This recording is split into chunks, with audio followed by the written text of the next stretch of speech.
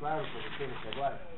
Então, acabou, deixamos aqui o nosso é, anti-herói é, Lesterkin, né? Adrian Lesterkin. Deixamos aqui o Adam Lesterkin, tendo acabado de consolidar um negócio com o diabo. E agora vamos ver o que acontece a partir disso. Lembrem-se de que o narrador não sabe que isso aconteceu. Que ele está contando essa história em 43. Mas na época ele não, não sabia que tinha acontecido isso. A única pessoa que estava lá com o, com o, com o Lesterkin é o Schiltnap. Mas nós não sabemos também se o Schiltnap tem alguma ideia do que aconteceu. Sabemos que o diabo né, é, conversou lá com o, com o Adrian Lesterkin. E aí então vamos ver o que acontece. Quem é que gostaria de continuar além da Clara? Alguém? Não. Clara, por favor, vamos lá. Com sereno Cyclone de volta ao posto de narrador, retornamos ao outono de 1912, 22 meses antes do começo da Primeira Guerra Mundial, quando Adrian, em companhia de Rüdiger Schicknapp, regressava de Palestrina e se instalava em Cyclone, nas imediações de Munique. Filha, acho que não está funcionando isso. Tá? Tá? Então, então tá, ok. Como pensionista da propriedade do Schweigel, que havia visitado durante um passeio de bicicleta com ir para a Itália. É, Schweigstil significa em alemão eu calo silêncio. Tá? Esse nome, Schweigstil, significa Schweiger, eu calo, e Stil, silêncio. Então, é muito engraçado que o Adrian Lefferkin vai morar logo na casa de uma família chamada Eu Calo Silêncio, numa cidadezinha nas imediações de Munique. Tá? Não é isso? Ele não volta para aquela casa da senadora, lembra? Que ele morava na casa da senadora, né? Que tinha aquelas duas filhas, a Clarice e a Inês. Agora ele não faz mais isso, ele vai morar nessa cidadezinha, numa propriedade grande, assim. Os Schweigestiel era uma família composta dos pais, Max e Alice, e de uma filha, Clementine, e da criada Valpurgis. É, vocês lembram que Valpurgis é o nome daquela noite de orgias de feiticeiros e feiticeiras lá do Goethe, no Fausto II, é, na, no, perdão, no Fausto I, né? Que tem lá a noite de Walpurgis, que é uma noite, uma certa noite que, de acordo com o folclore alemão, os feiticeiros e feiticeiras se reúnem para fazer orgias sexuais, enfim, de todos os tipos. E essa criada chama-se Walpurgis, tá? A, a, a, criada da família da família Schweigstil, quer dizer, eu calo o silêncio.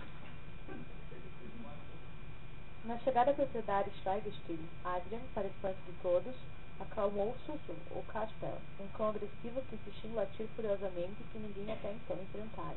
É, isso é outro sintoma demoníaco, né? Porque é, é, da, é da tradição folclórica dizer que o, o diabo controla os animais. Um pouco depois, o narrador nos comunica sua mudança para Freisen sobre o Isa, sede de um bispado durante anos, de onde ele, de onde ele assistiria a tragédia de Lefebvre, com solicitude e emoção. É, lembra que não está errado, né? Tem um Rzinho lá em é, o, a, foi nesse momento agora que o nosso narrador foi morar em Freising, de onde ele está contando a história desde o primeiro minuto, né? Então agora está Munique no meio, de um lado está a cidadezinha de Feisseling, onde mora o, o Adrian, e ao, do outro lado está a cidadezinha de Freising, onde mora o outro, né, o Zeitblom. Adrian havia também contratado o copista Glittenfeld para transcrever algumas páginas da partitura de Love Labels Lost. O copista realizara um trabalho notável na cópia da partitura de Love Labors Lost, enviando a Adrian uma carta na qual declarava-se incapaz de dizer ao autor o quanto a obra fascinava por sua audácia e pelo inédito de suas ideias. E agora vem uma outra descrição do que seja da dodecafonia. É, um ano depois, por interferência de Kretschmar, a ópera seria apresentada em Leipzig. Durante a execução, dois terços do público deixaram o teatro.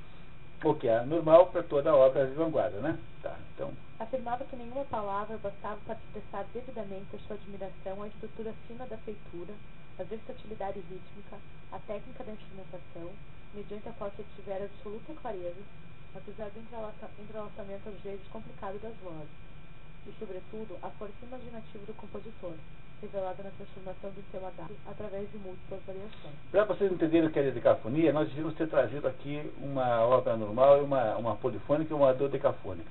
Mas isso seria muito difícil fazer aqui na nossa exiguidade de tempo, então é melhor imaginar, mas eu sei que é difícil compreender isso a não ser na prática, porque é preciso escutar para entender, né? Mas vocês tomem aqui a palavra do Thomas Mann como, como é, válida, né? que no fundo não é, o assunto não é esse, né?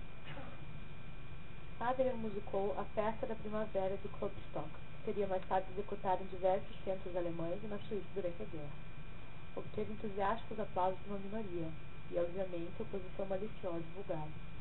O narrador confessa que, apesar de todos os elementos religiosos daquela composição, não compreendeu ainda o sentido real e espiritual da obra, nem tampouco sua mais íntima necessidade e intenção, sua angústia, a qual, glorificando, procura encontrar a misericórdia. Só muito mais tarde aprendi a ver na composição da festa da primavera uma oferenda propiciatória a Deus, o que ela era de fato. Um produto da de Cordes, criado, segundo presumo, horrorizado, sobre as ameaças do visitante, que se aferrava a suas reivindicações. É, o visitante é o diabo, quer dizer, ele acha, depois que ele ficou sabendo do negócio do diabo, aqui o nosso narrador diz que entendeu finalmente essa festa, dizendo que era uma tentativa de, uh, de reconciliação com Deus do, do Lefebvre, e que não, no entanto, foi suficiente para produzir a mesma. Então, aqui houve uma, aí uma espécie de vacilação nesse caminho demoníaco que o Adrian estava empreendendo pela vida fora. Nas inúmeras visitas do narrador a Adrian, esse lhe contava uma história fantasiosa de como ele, acompanhado pelo Sr. Capercailliger, um suposto sentido, cientista americano, havia descido num batiscafo esférico às profundezas do oceano. Ele de fato havia descido mesmo, né? Às profundezas. Não é isso que, que esta, essa história está tentando simbolizar? Né? Olha, olha a descrição. Depois disso, porém, e isso já muito antes do batímetro indicar 750 ou 765 metros, reinavam ao redor deles o mais completo negrumi, as trevas do espaço interestelar, que em toda a eternidade nenhum raio de sol, por débil que fosse, jamais atravessou a noite virginal, serenemente calma, que nesse instante devia aguentar que uma claridade artificial, vindo do mundo das alturas, sem nenhuma origem cósmica, a alumiasse e transpassasse.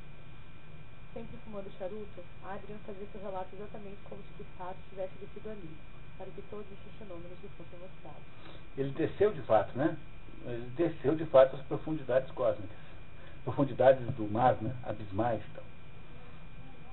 Adrian frequentava a cidade de Munique, ou mesmo diante da viagem à Itália, sempre com cuidado de retirar-se cedo para não perder o trem das 11 para o Pfeiffer. E apareceu o trem das 11 de verdade, é esse aqui, né?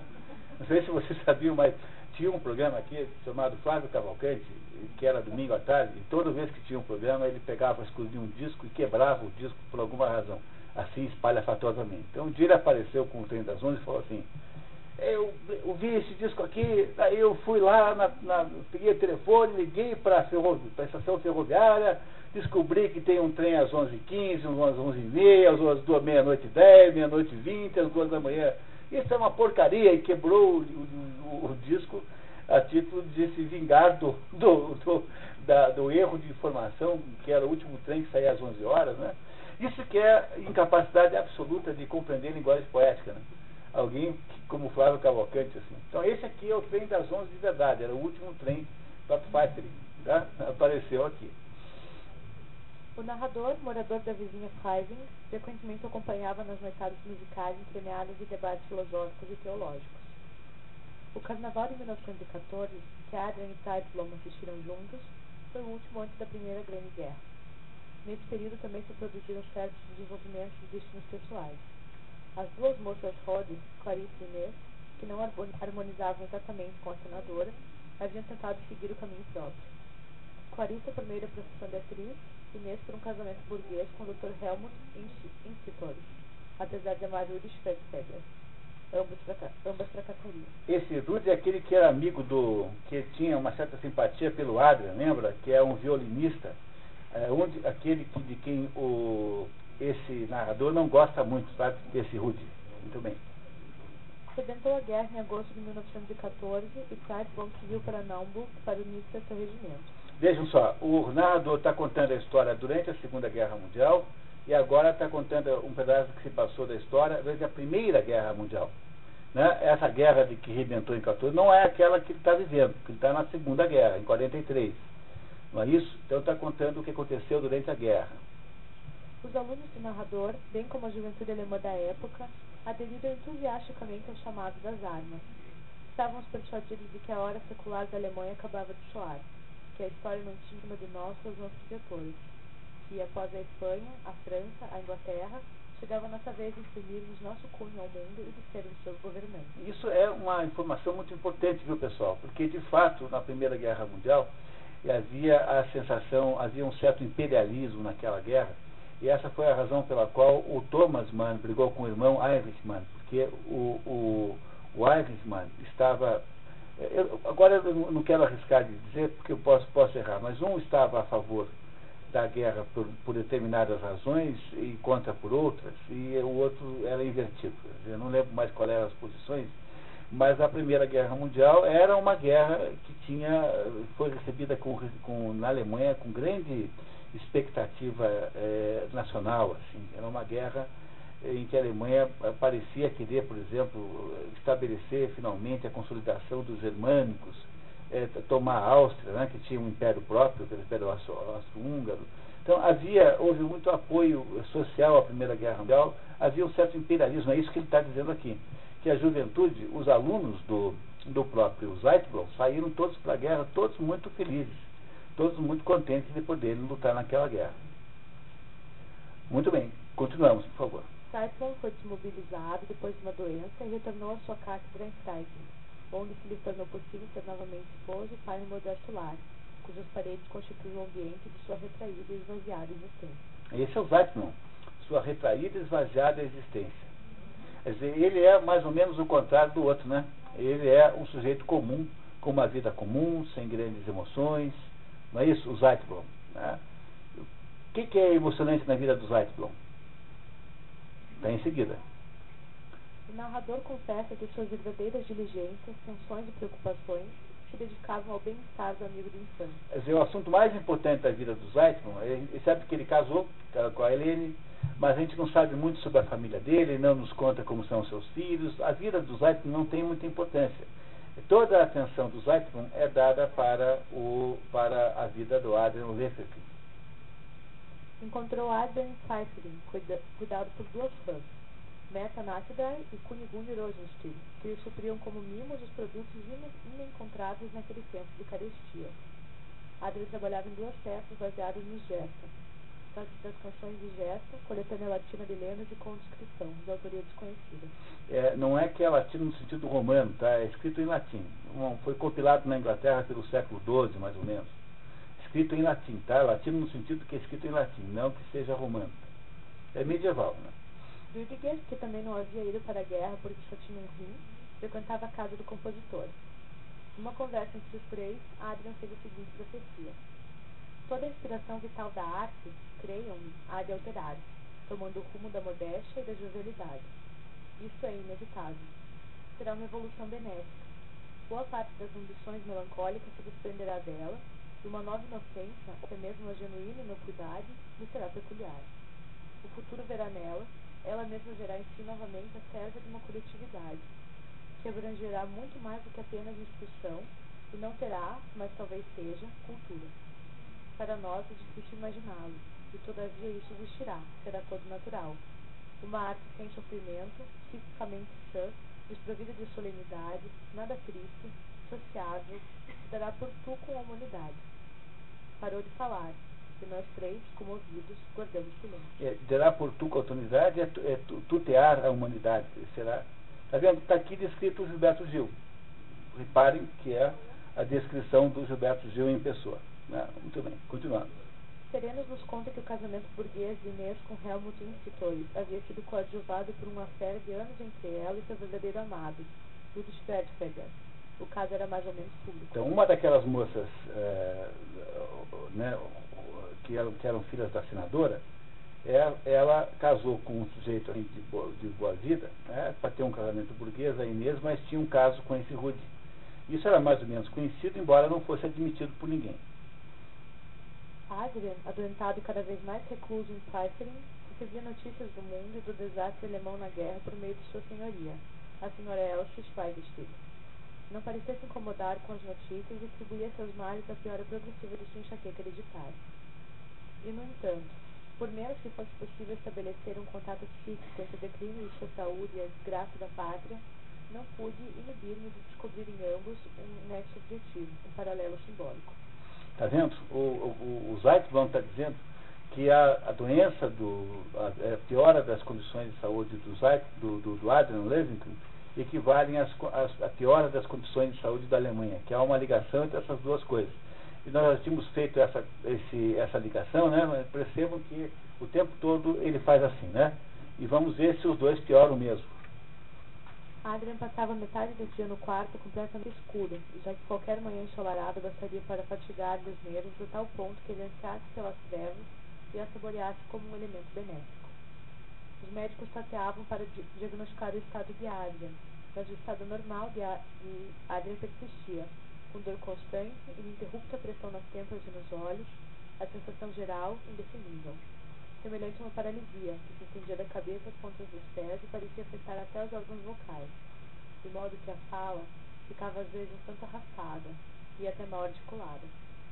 Adriano falava de modo claro e contava como em devaneios a história da pequena sereia de Anderson e defendia a superioridade estética do corpo da sereia em comparação com o bifurcado dos homens.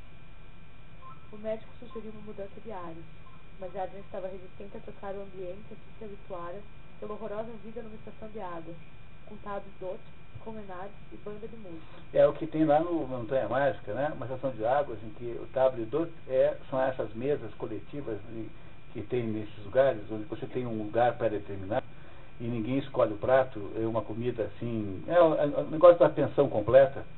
E a tablet dote é, é, são essas mesas onde ficam os hóspedes desses lugares assim de de estância do mineral, etc, etc. A promenade é um passeio que tem que fazer todo mundo junto, à tarde, de manhã. Dizer, a última coisa que ele queria na vida era participar de uma coisa dessa com toda a razão, né? Está coberto de razão, sem dúvida nenhuma. Ideia diabólica é, de fato, essa outra. Não é? Não é isso? Tá? Então ele não quer, ele está cada vez mais doente, não consegue ver a luz, não consegue suportar a luz nem o sol. Cada vez mais doente, cada vez mais entrevado, cada vez mais associado ao escuro parece uma coisa natural, tendo visto que nós sabemos dele, que, que tem uma, uma, uma, uma, atitude, uma existência abismal, né, nesse sentido, não é, não é isso? Tá. Continuamos, por favor. A senadora que havia deixado Munique e agora também vivia na propriedade do Schweigestiel relatava as dificuldades de sua filha Clarissa, que tentava, sem sucesso, a carreira teatral tendo no máximo atraído a de comerciantes endinheirados que a desejavam como mãe. É, porque ela era uma atriz mais ou menos, e todo mundo achava um sujeito rico, dizia assim, ah, eu vou lá, porque se ela não quer ser minha mãe, ter, ter uma amante no teatro era chique. Entendeu? Então era um jeito lá. E a única coisa que ela conseguia era atrair propostas assim. Ninguém a convidava para nenhuma verdadeira obra de interpretação. Então ela não estava fracassando como atriz. Quanto a Institutori, foi o próprio Rudy que comunicou a fera a Adrian em janeiro de 1919. O narrador espanta-se com a impressão de que Rudy, agora espala de orquestra Kaffenstosser, dava a impressão de ser mais moço do que nos tempos em que travara seu primeiro contato com ele. É, Spala é o primeiro violino, quer dizer, ser Spala, ter, ter se transformado em Spala é sinal de que o Rudy cresceu na vida. E também não está mais velho, dizer, quem sabe se esse Rudy também não é aí um, é, um, um cliente do, do outro lá, né? Não é isso? Tá. Em resumo, Rude disse a Adrian que Inês dispunha de sua pessoa, de seu corpo, de uma forma que normal e adequadamente caberia ao macho, com relação à fêmea. O que é que se pode fazer quando uma mulher se agarra a gente que nem uma náufraga e exige terminantemente que eu seja sua amante? Mas, cá entre nós, né? Tá, muito bem, continuamos. Rude confessou ao amigo. Prefiro mil vezes travar conversações sérias que me enalteçam e me façam progredir com um homem de elevadas qualidades a ficar na cama com alguma mulher. Sim, se eu devesse definir-me a mim mesmo, após um exame meticuloso, iria incluir-me entre as naturezas platônicas. Por causa desse comentário, Zeitzblom, que não agradecia Rude, o apelidou de duende platônico. É, porque, afinal de contas, é um sujeito extremamente estranho esse Rude. Ele é um conquistador inconsequente, conquista, mas não quer ninguém. Ele é um sujeito é, muito fútil e é engraçado, ele conquista as, as plateias. E aqui está confessando, dizendo para o outro que ele não está interessado na, na, Inês, embora se sinta é, usado por ela, né? do que ela está fazendo mal a ele. Né? Coisa equivalente, né? Vamos ver. Muito bem. Tá. Na primavera de 1919, a enfermidade cessou de pesar sobre Adrian Leprechaun. Nesse momento, seu espírito, Paul Félix, erguia-se, atingindo a mais alta liberdade, o mais pasmoso poder de produção irrefreada, para não dizer irrefreável. Produção contínua, impetuosa, quase que febril, e foi justamente essa dita imagem que me revelou que os dois estados, o deprimido e o exaltado, não ficavam dissociados sem nexo íntimo. Pelo contrário, esse se preparara e, certo sentido, já estivera contido naquele. Então começava, não era em absoluto um período de bem-estar, senão a sua maneira, outra de atribulação, de acostamento, de dolorosa angústia. O compositor começou a planejar uma grande obra, Apocalipse com figuras, a musicalização do Apocalipse de São João, a partir de vários estudos e de gravuras de Albrecht Dürer. Por que chama Apocalipse com figuras? É porque figuras é as imagens de Dürer, que é o maior artista plástico alemão de todos os tempos, um dos maiores desenhistas da história, um gênio total e completo. Todos esses relatos extasiados, que anunciam o juízo final e instigam pedagogicamente o temor ao eterno castigo, constituem um mistério de tradições sumamente densa, cheia de motivos que se repetem, e Adrian encerrava-se nela, no intuito de preparar-se para uma obra que concentrasse num só foco todos os elementos da mesma, ajuntando-os ameaçadoramente a uma tardia síntese artística, e, segundo uma incumbência inexorável, mantivesse diante dos olhos da humanidade o espelho da revelação, para que os homens avistassem nele o que já se adivinhava. Adrian trabalhava freneticamente dez horas ou mais por dia, empenho notável para alguém que estivera tão doente. Segundo Zeitman, Adrian vivia acostado pelo temor de que a graça ou a desgraça do estado de iluminação pudessem abandoná-lo prematuramente. Pouco antes da conclusão da obra, em meio àquele terrível final, que reclamou toda a sua coragem, e ficando longe da música romântica de redenção, inexoravelmente confirmou o caráter teologicamente negativo, desapiedado da Torre. Sofreu ele de fato uma recaída das mesmas dores e aos mesmos enjoos de outrora. A crise prolongou-se por três semanas, durante as quais, segundo as suas próprias palavras, perdi até qualquer lembrança da técnica de composição e toda a vontade de compor. Essa nova crise passou em princípios de agosto de 1919, e Adrien pôde rascunhar a obra inteira, no que gastou apenas seis meses. Os últimos, os próximos dois trechos, os dois capítulos, eu vou resumir aqui oralmente para que a gente possa ganhar um tempinho. O, o agora vai fazer comentários da, do, das reuniões que ele fazia na casa dos Sixtus é, Critves. é, é uma, um nome que, que sugere a expressão conhecimento falido. Critves, é, como, como menção, né? conhecimento arruinado, digamos assim. E onde se reuniam os intelectuais de Munique, e esses intelectuais todos aí eram intelectuais do pós-guerra. E o que o, o nosso narrador vai nos contar, que é muito interessante, é que havia a sensação é, de que aquilo que estava acontecendo com a Alemanha, de agora ter uma república, ser uma república chamada República de Weimar, com a, a, derrota de 14 a 17, a Primeira Guerra Mundial, a Alemanha deixa de ser um reino né, que tinha um, um Kaiser e agora ela é uma república, chama-se República de Weimar. A República de Weimar vai de 1917 até 1933 em 33, a República de Weimar é substituída pelo novo governo, que irá ser tomado pelo governo nazista. Então, 33 é o limite final da República de Weimar. Nesses anos aí, entre 17 e 33, a Alemanha tornou-se o centro da, da arte no mundo. Quer dizer, foi uma coisa tão extraordinária que há um livro chamado, olha aqui, ó, Rights of Spring, que é um livro de um explorador chamado Modris uh, Eckstein, Modris Eckstein, que é um livro extraordinário, e esse livro aqui conta, tem a seguinte tese, a tese de que a Segunda Guerra Mundial e o nazismo deram origem nas artes, e não em aspectos políticos ou econômicos.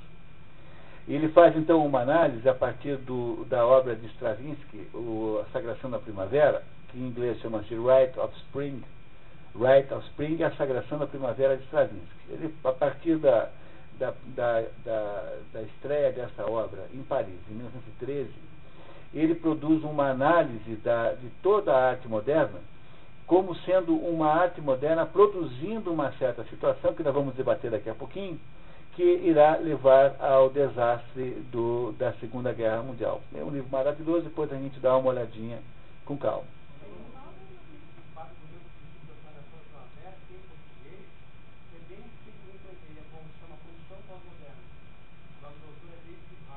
David Harvey, né? Isso mesmo, é. Isso.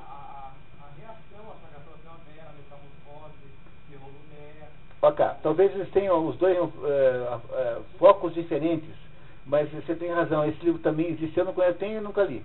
Tá? É, você tem, então tem esse do Harvey, David Harvey, A Condição Pós-Moderna, e esse aqui chama-se Rites of Spring, eu não sei se tem em português, deve, deve ter.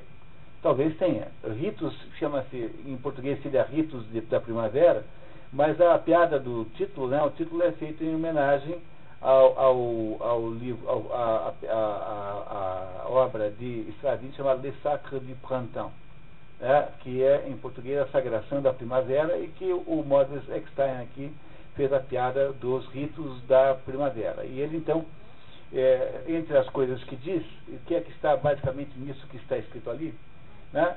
Eu ah, selecionei aqui para vocês uma pequena, que eu vou aqui traduzir assim com tradução livre, né? Vocês compreenderão, né? Então, olha assim, olha só. Uh, o nacionalsocialismo foi é, foi uma, uma, uma, uma, produção híbrida do, do, do, do, híbrido que foi o impulso modernista o irracionalismo associado ao tecnicismo. Nazismo não foi apenas um, um movimento político, foi uma erupção cultural. Está escrito aqui, eu estou traduzindo como eu posso aqui, né? Não foi imposto por uns poucos. Desenvolveu-se entre muitos. O nacionalsocialismo foi a apoteose do, ide, do idealismo secular, secular não, não religioso, né? que é, é, é, alimentado por um terrível sentido de crise existencial, perdeu todo o traço de humildade, de modéstia, portanto, de realidade. As fronteiras e limites tornaram-se sem nenhum sentido. No final, o idealismo completou o seu círculo e, e voltou-se a si próprio e voltou-se a si próprio e tornou-se antropófago. O que começou como idealismo terminou como niilismo o que começou como celebração terminou como perseguição. É, o que começou como vida terminou como morte. É isso que está aqui dito nessas duas páginas seguintes, que nós não vamos ler por falta de tempo, em que o, o Zeitblom fica completamente desesperado porque ele frequenta os círculos intelectuais de Munique e percebe que se está criando um clima de niilismo tão extraordinário que aquilo ia dar muito mal. Não é isso? E aí então o que é que ele faz? Né? Ele, é, ele diz aqui, incluindo diz, né, que a, ele acabou perdendo 15 quilos, 14 libras, são 7 quilos, é, do seu peso no convívio nervoso com essa, com essa situação que estava se criando ali. A situação, sob o ponto de vista prático, vai piorando agora progressivamente a partir então do, filha, do capítulo 35, na página 19 que é quando começam a se definir a situação dos diversos envolvidos. Por favor, filha, no fim da temporada. No fim da temporada de inverno de 1921-1922, Clarissa Rode, atriz cujo talento natural não igualava sua ambição, suicidou-se com veneno em Pfeiffer, na casa da mãe, sem nenhuma consideração aos sentimentos da mesma. Embora casta, suas maneiras teatrais, na vida cotidiana, atraía aventureiros sexuais, entre eles o que a desvirginara, um advogado mulherengo e pândego provinciano. Quando Henri, um associano de boa família, interessou-se por ela propondo a compensação de um casamento burguês em troca de uma vida teatral fracassada, o advogado conquistador, cuja vaidade infame reclamava um cadáver de mulher em seu caminho, entregou anonimamente o status decaído da moça. O suicídio de Clarissa havia acontecido após ela receber em Pfeiffer tal carta enviada ao noivo e remetido para ela com o pedido de esclarecimentos. Os bilhetes que ela deixou a Henri constavam: Je t'aime, une fois je t'ai trompé, mais je t'aime. Significa eu te amo, uma vez eu te enganei, mas eu te amo.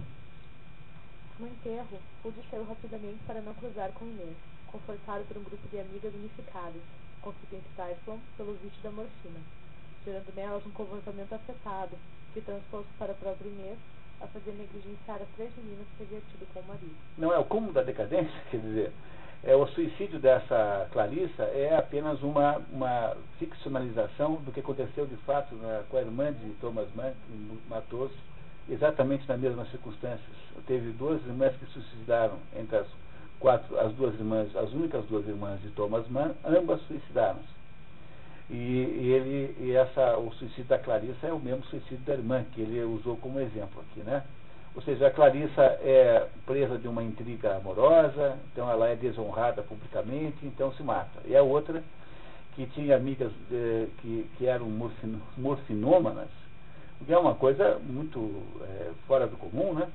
Ela, então, então essa outra aí é, chegava ao ponto de negligenciar os próprios filhos, tendo em vista isso. Vocês percebem que é um clima de decadência terrível aqui, que atingiu logo essas duas moças que achavam que a mãe era muito liberal, que a mãe fazia aquelas reuniões lá com os malucos. Logo essas duas aí foram, é, acabaram, é, uma acabou já, né, a outra acabará mal também, tá? Não percam por esperar. Tá? Muito bem, continuamos. Olha, mãe, estás perdida, e eu recordo tuas esperanças.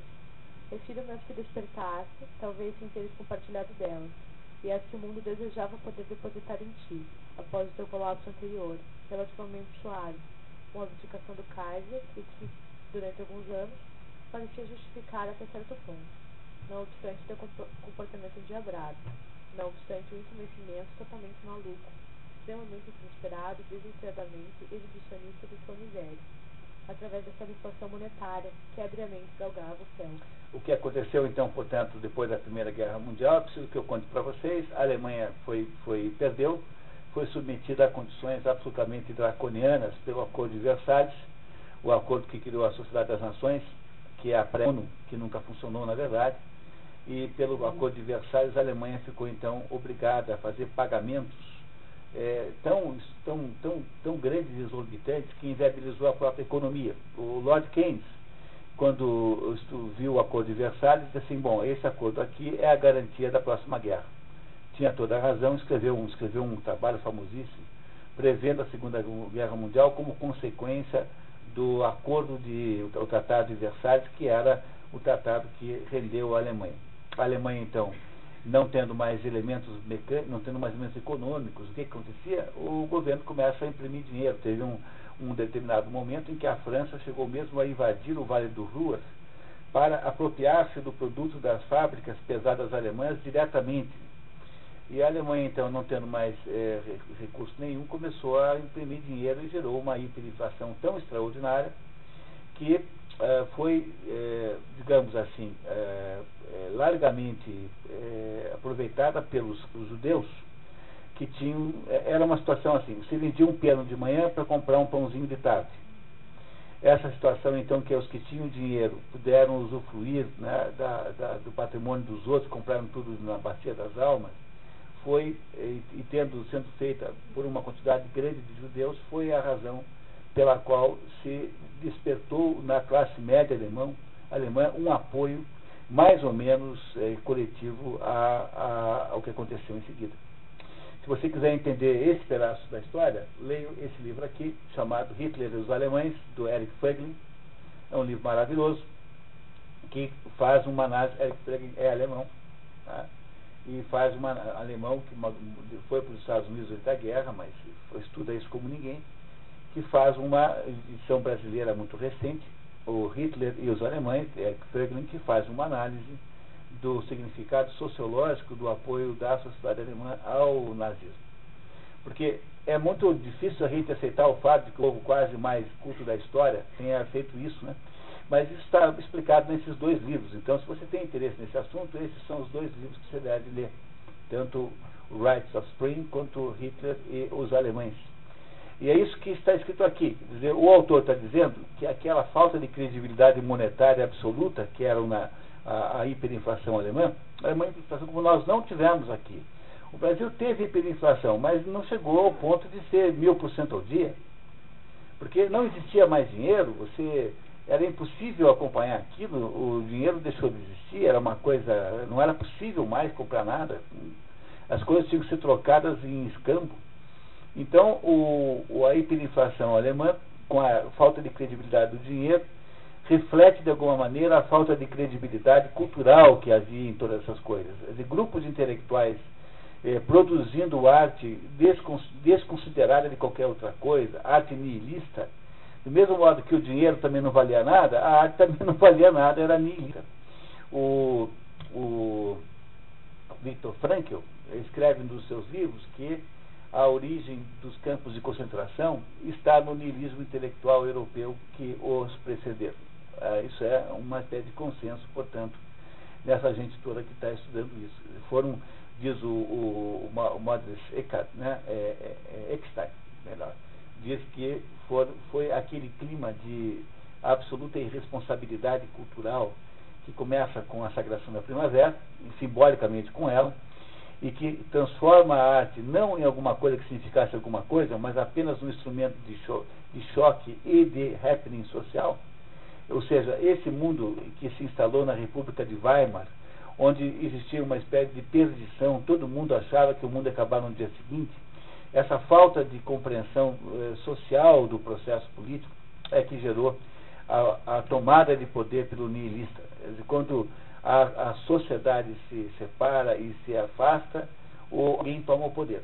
E foi isso que aconteceu na Alemanha, de acordo com esses autores todos. E pelo Thomas Mann também, né?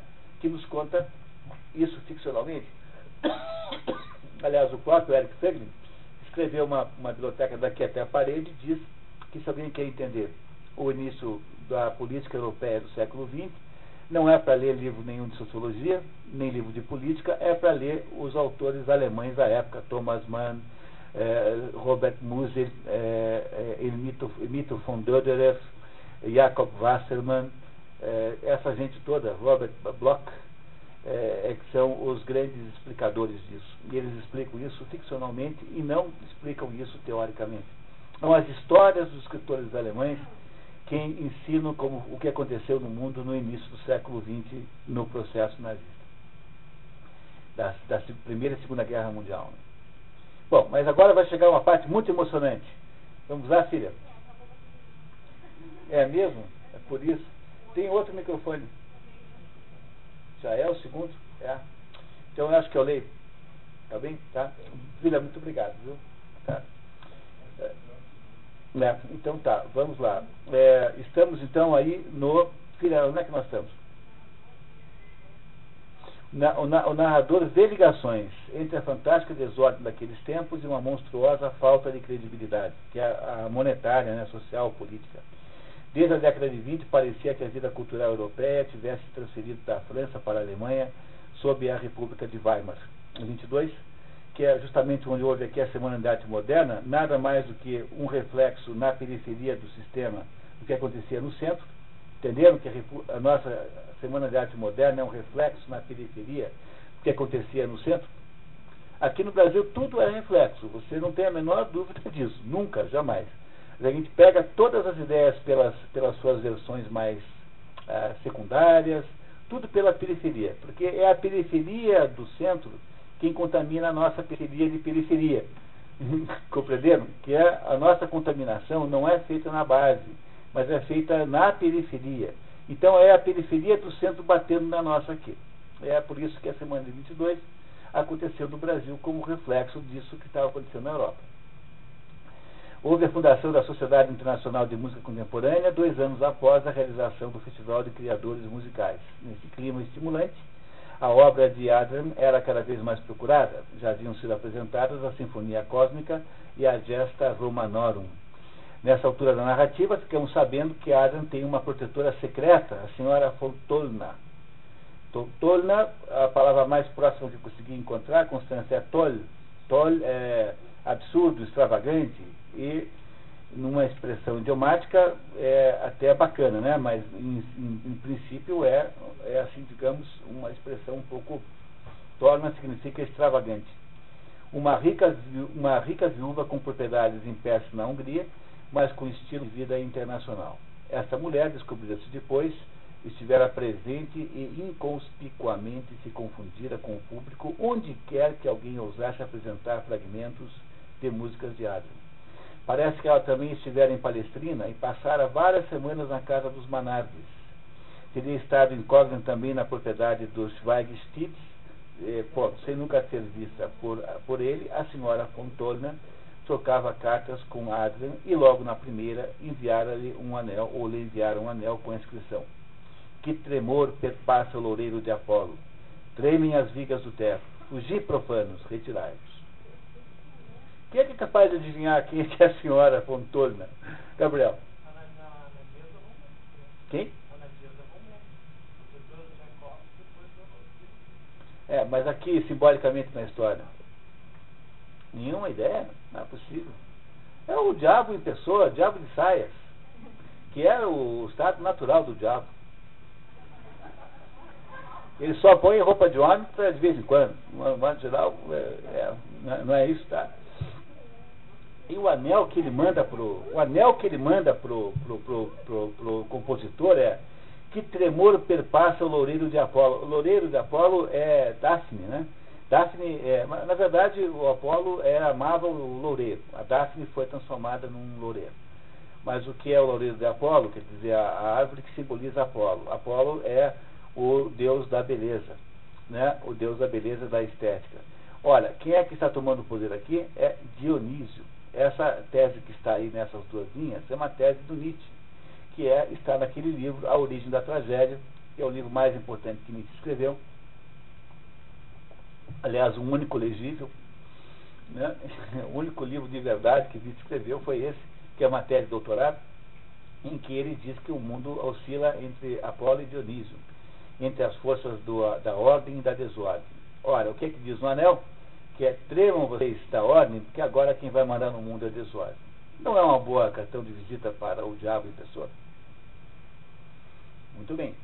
Adrian passou a usar a joia na mão esquerda e não na direita, perceba um detalhe, enquanto compunha o Apocalipse.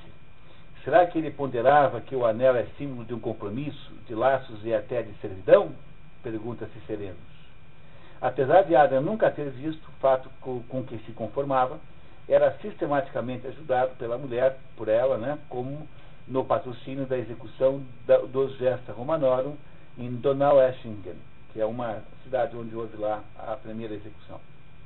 Certo dia, Adrian aceitou um convite dessa misteriosa senhora de hospedar-se em qualquer de suas propriedades, contanto que na ausência dela, Adrian na ausência dela. Ponto. Adrian levou consigo Rua de Schwertfeger e passou 12 dias num castelo de luxo quase indescritível, construído nas margens do lago Belaton.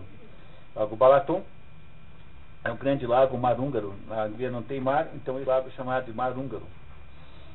Quem mais é que morava na Hungria, além desta senhora misteriosa? Quem? A Esmeralda. A Esmeralda também morava em Hungria, lembra? Em Pressburg, que era na Hungria. Não são coincidências demais? Muito bem. Em 23, quando Adrien e o narrador voltaram, voltaram de um passeio nas imediações da residência dos Schweigstitz, encontraram um homem que havia vindo de automóvel com chofer e que a senhora Schweigstitz os preveniu contra ser mundano e assustador ao ponto de ela ter trancado a própria filha Constantine no quarto enquanto durasse a visita. Que exagero, não é? O estranho apresentou-se como Saul Fittelberg, representante de artistas proeminentes e paladino da cultura vanguardista, e propôs retirar Adrian da sua reclusão de 20 anos em Pfeiferen e conduzi-lo sob seu manto através dos ares e de mostrar-lhe o império deste mundo em toda a sua magnificência e, mais ainda, de prostrá-los a seus pés. Saul Fittelberg, que era judeu polonês, mas morava em Paris, explicou a dupla que havia subido na vida promovendo a arte que, embora escandalosa, o commencement était le scandale. No início, logo em seguida, tornava-se o dernier cri, o último grito, seja, o mais moderno, e assegurou que suas apresentações nunca foram suspensas antes do fim, pois, no fundo, nem sequer os mais indignados querem esse desfecho. Pelo contrário, almejam indignar-se muitas vezes mais. Adler não se interessa e Frittelberg, decepcionado, sai teorizando sobre o imenso valor que os judeus teriam se os alemães fizessem deles seus mediadores entre eles e a sociedade, já que só havia dois povos verdadeiramente nacionalistas, os alemães e os, e os judeus. Leverkin propôs, compôs um concerto de violino especialmente para Rudy Schwertfeger, sinal de uma amizade crescentemente mais próxima, ao ponto de gerar ciúmes no narrador quando descobriu que o duplo estava se tuteando, antes privilégio apenas de serenos. Quer dizer, o, o, o Adrien fez lá um concerto para que o violinista tocasse. Não é? é isso. Nos últimos dias do ano de 24, obtiveram sucesso as apresentações do concerto para violino escrito para Rude em Berna e Zurique. Nessa cidade, Adrian e Rude ficaram hospedados na residência do casal Reif, rico e amante das artes. Num jantar, Adrian conheceu Marie Godot, sobrinha da anfitriã, que tinha os mais lindos olhos negros do mundo, a Marie, não a anfitriã, e era desenhista de figurinos e cenários. Aliás, havia sido confiado a ela o cenário de uma comédia na Schauspielhaus de Munique, que é o Teatro Municipal de Munique. Uh, Adrian ficou encantado com a moça, sobretudo porque a sua voz parecia com a da sua mãe, Elsbeth. O compositor confidenciou a Zeitblom que pensava aos 39 anos em se casar. O narrador recebeu a notícia com entusiasmo porque via na perspectiva o fim das maléficas relações com Schwettfeger, mas inquietou-se ao perceber que Adrian sequer cogitara a possibilidade de a moça não estar de acordo. Adrian Leverkühn propôs a Zeitblom organizar um passeio nas imediações de Munique, aproveitando o inverno ensolarado, convidando a todos, sobretudo Marie Godot e sua tia Isabeau Ferblantier. A ideia teria sido de Schwertfeger, mas o narrador desconfiava que ali estava um homem apaixonado que não queria ser visto lidando com mundanidades e excursões de trenó. Durante o passeio, visitando o castelo de Linderhof, Zeitblom e Rude discutiram intensamente a interdição do, do rei Luís II, Ludwig II. Ah, esse rei, o rei Ludwig II, é cognominado Der Verrückte, o louco, foi rei da Bavária, protetor de Wagner e construtor dos castelos notáveis como Neuschwanstein, aquele de, que aparece em tudo quanto é filme, que parece uma coisa de, conto de fadas, alto da montanha. Tá? Linderhof, Herren Kimse, cópia de Versalhes. Esse eu conheço porque eu morei ali, morei na cidadezinha bem em frente, chama-se Prim Kimse. E eu conheci esse castelo. É uma cópia de Versalhes muito pequena, né? Por favor, não se, não se entusiasme, então. Tá? Mas é uma cópia exata de Versalhes. Pequena, mas é uma cópia. Esse rei Ludwig II foi o sujeito que financiou Wagner. A Bavária era um reino e ele era maluco, doido, varrido, e ele uh, fazia extravagâncias desse tipo, fazia os castelos todos e pagava fortunas para Wagner fazer as suas, as, suas, as suas óperas e até mandou construir uma, uma, um cenário, um centro de operístico lá na Bavária que se chama se chama Bayreuth. Bayreuth é, é uma cidade de, da Bavária onde existe lá uma, um teatro que o Ludwig Schweitzer mandou fazer apenas para passar, para tocar as óperas de Wagner. Todo ano tem um festival e todo mundo ouve então o Anel dos Nibelungos em 18 horas de espetáculo, 4 horas e meia para cada um dos quatro é, trechos. Né? Então, esse Ludwig Schweitzer acabou tendo uma morte trágica, ele foi interditado, porque ele era completamente. Ele foi, ele era primo da Cici. Pela Cici, né? Mas ele era primo também, né? Ele era apaixonado pela Cici da Áustria, aquela Cici que depois teve o seriado e tal, para os mais românticos e nostálgicos lembrarem nesse momento. E que era, que era aquela moça que fazia Cici, né? A Schneider, né? Romy Schneider, né? E esse, e esse rei acabou morrendo tragicamente, eh, misteriosamente, afogado no Starnbergsee, que é o Lago de Constança, né? É, então, tá, então não é. Então o, o, o Starnbergsee é o lago lá em que foi em que morreu afogado esse rei. Então está lá o Zeitblum discutindo com o Rudi, eles não se dão muito bem, mas o Rude está brigando, achando que o rei é louco, e o outro é que está a favor, devia ser o contrário, né? Está escrito aqui. Ó. Então, a interdição do rei Luís II, construtor daquela obra e mecenas das artes. Zeitblum defende o rei e Rude o ataca. Zeitblum acha que, sendo ali Rude o artista, deveria ser o contrário. Na volta, Adrian, que poderia ter saltado do trem antes, acompanhou Marie e a tia até Munique, provocando em Zeitblum a seguinte interpretação. Nos meus pensamentos, esse ato de cavalheirismo assumia o sentido de que ele queria ver o derradeiro restinho do dia unicamente em companhia dos olhos negros.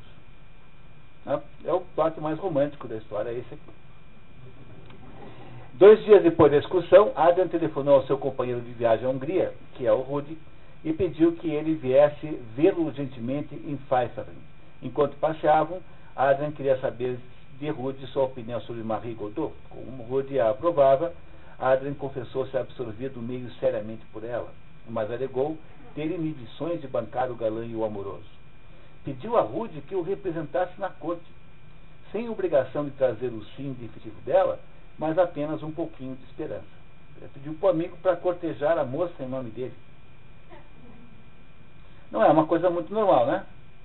Tá? Muito bem. Ante o exotismo da, da ideia, Rude vacilou e acabou confessando a Adrian que a moça não lhe era indiferente tão pouco. O compositor reconheceu o risco, mas insistiu em que, mesmo assim, não pode imaginar para seus fins um mediador mais qualificado e desejável. E a razão de ter dito isso permanecerá um mistério até umas duas páginas. Porque, mesmo sabendo que o outro está interessado na moça, ele acha que ninguém é mais qualificado do que ele próprio, o outro, né? Não é isso? Rudolf concordou com o sacrifício e Adam acompanhou o amigo até a estação. Antes de virar-se para partir, levantou o braço. Nunca mais viu aquele que ali se distanciava. Somente recebeu uma carta remetida por Rudolf, a qual recusou responder. Quando Zeitblom ficou sabendo do episódio, desconfiou de que Adam, pouco mais ou menos, previa o que aconteceria e que o acontecido correspondia à sua vontade. Às vezes eu chegava a conjecturar que Adam, ao fingir esperar um sacrifício da parte do outro, escolhia para si o maior de todos os sacrifícios, a saber, que propositalmente tentaria, tensionava unir os que por seus encantos mereciam ser unidos ao passo que ele mesmo desejava enclausurar-se novamente em sua solidão, renunciando. Rudolf, de fato, tinha tentado cumprir o papel de intermediário, nunca escondendo completamente seus verdadeiros sentimentos. Mas a moça deixou claro que o respeito que ela devotava ao compositor nada tinha a ver com sentimentos que pudessem servir de base àquela união que Rodolf lhe propunha em palavras tão eloquentes. Maria, em seguida, declarou não desejar novos encontros com Adam Leverkin e tampouco com Rudy, terminou despedindo-se. Adieu, monsieur. Ao que Rudolf suplicou, Marie.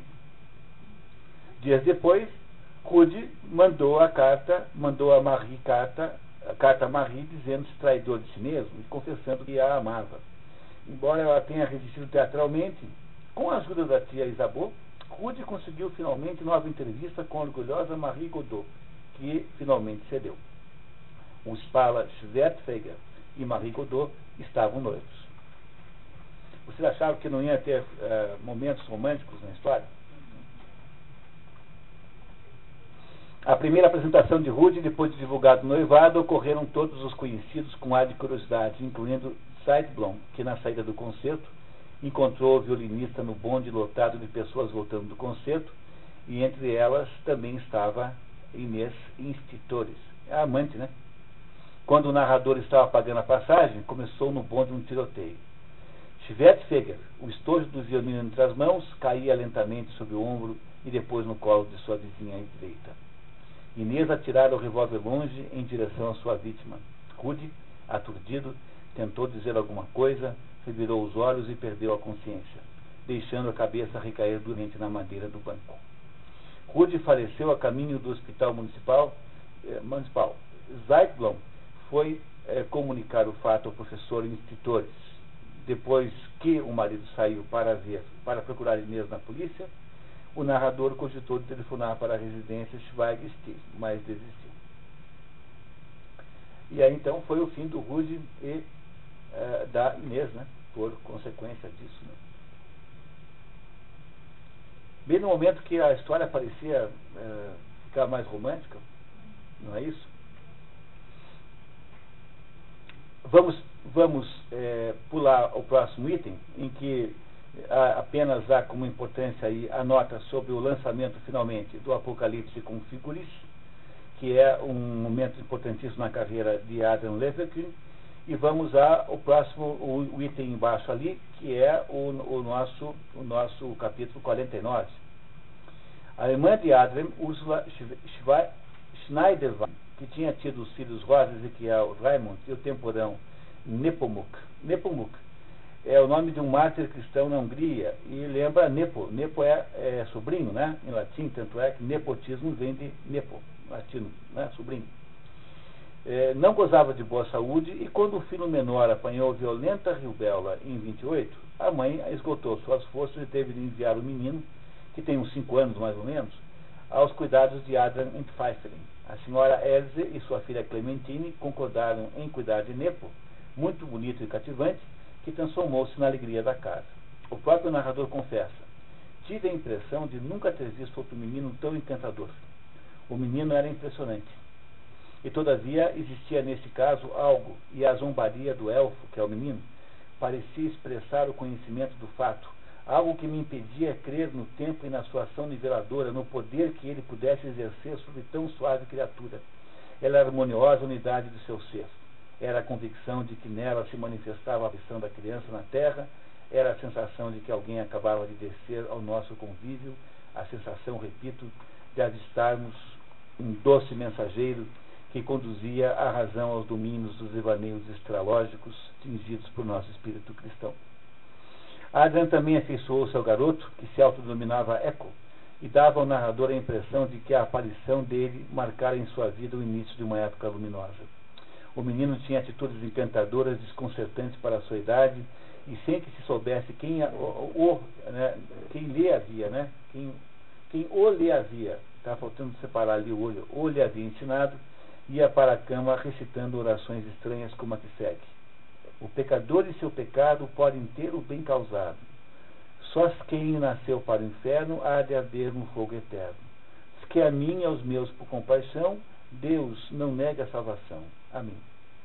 Nepo falava com entonação e pronúncias estranhas, mas encantadores. Nepomuc começou a ficar doente um resfriado turvo então a doce clareza do seu, um, turvou então a doce clareza dos seus olhos. A doença se intensificou com intolerância à luz e sons. Doía observar como, em busca de salvação, a criança se dirigia a uma e outra das pessoas que a amavam. Abraçava-as e afastava-se pouco depois sem ter encontrado consolo. Agarrava-se à mãe Schweigstil, a Clementine, a criada Valpurgis, e, no mesmo intuito, frequentemente se aproximava de Adrian após crescente sofrimento. Dói a cabeça, dói a cabeça. O médico diagnosticou meningite, dando de ombros e meneando melancolicamente a cabeça. Nos momentos de maior sofrimento, sob dores terríveis, o menino balbuciava. Eco quer ser bonzinho, Eco quer ser bonzinho. Mas a doença continuava a lhe imprimir no rosto distorções que lhe davam a expressão de um processo. O emérito professor von Rotenburg veio de Munique atender a criança e só pôde minorar o sofrimento até uma esperada perda de consciência.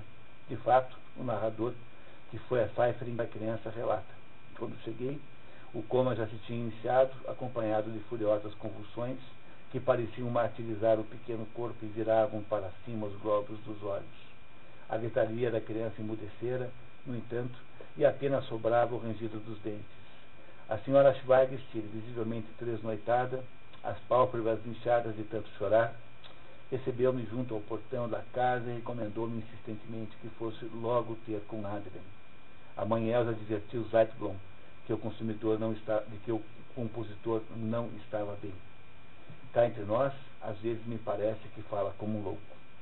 Quando o narrador encontrou Adrian, este encostou-se na parede, apertou a nuca contra o lambri e disse: Leva ao monstro! exclamou numa voz que me penetrava até a medula. Leva ao patife, mas faze-o logo já que não quiseste tolerar nem isto, velhaco que és.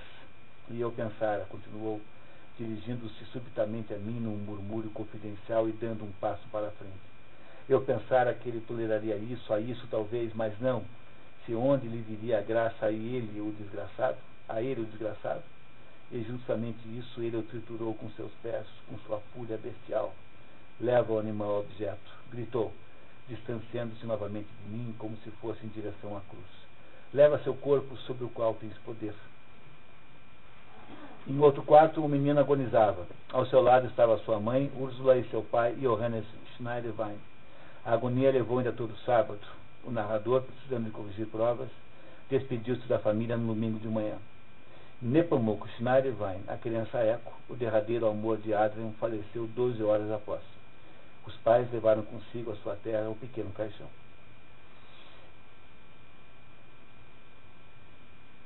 Ah, a próxima, a próxima é, trecho que nós vamos também pular. o narrador nos conta que o Adrian uh, havia piorava rapidamente a aparência física, estava se tornando completamente irreconhecível, enquanto trabalhava numa última grande obra chamada A Lamentação do Dr. Fausto, que é a razão pela qual o livro chama-se Doutor Fausto. E aí então a coisa toda se define na página seguinte, 26, é, aí no capítulo 47, né? Não é isso? Não, 47, isso mesmo. Na metade do ano de 1930, que é quando começam justamente na Alemanha os primeiros progressos políticos nazistas, Adrian resolveu, com o auxílio do narrador, convidar para vir a Pfeifferin umas 30 pessoas para dar-lhes uma ideia de sua nova, recém-concluída obra sinfônica e coral, tocando ao piano certas passagens características. Ao narrador desagradava muito tal empreendimento, sem saber exatamente a razão. Os convidados, todas as pessoas que haviam convivido com a trajetória de Adrian, em princípio não reconheceram o compositor. Quanto não deveria Adrian ter mudado sob os meus olhos para que tal pudesse acontecer? Mas sim há um sinal, mas há um sinal de Leverkin, os visitantes param seus assentos. Adrian começou a falar muito baixo, quase murmurando, elogiou Zeitblum por seus esforços em organizar aquela reunião e iniciou. Agora vos dirijo uma imploração amigável e cristã. Não acolhais desfavoravelmente a minha arenga, mas tentar entendê-la no seu melhor sentido, visto que tenho sincero desejo de fazer uma confissão plenária de homem a homem em presença de vós, que sois bons e inofensivos, porém não, embora não desprovidos de pecados, porém apenas pecaminosos do modo habitual e suportável, pelo que vos menosprezo cordialmente e todavia vos invejo com fervor. Nessa hora em que tenho a ampulheta diante dos olhos e careço estar preparado, para que, no momento no qual os derradeiros grãozinhos descerem pelo gargalo, venha buscar-me aquele a quem me vendia a caro preço, assinando o pacto com meu próprio sangue, comprometendo-me a pertencer a ele eternamente com o corpo e com a alma, e a entregar-me às suas mãos e a seu poder, logo que nada mais, logo que nada mais passar pelo orifício e o tempo que a sua mercadoria estiver esgotada. Lembre que o tempo de 24 anos está acabando agora, em 1930, que é quando essa história, esse momento da. Ele está assim no último, nas últimas da ampulheta.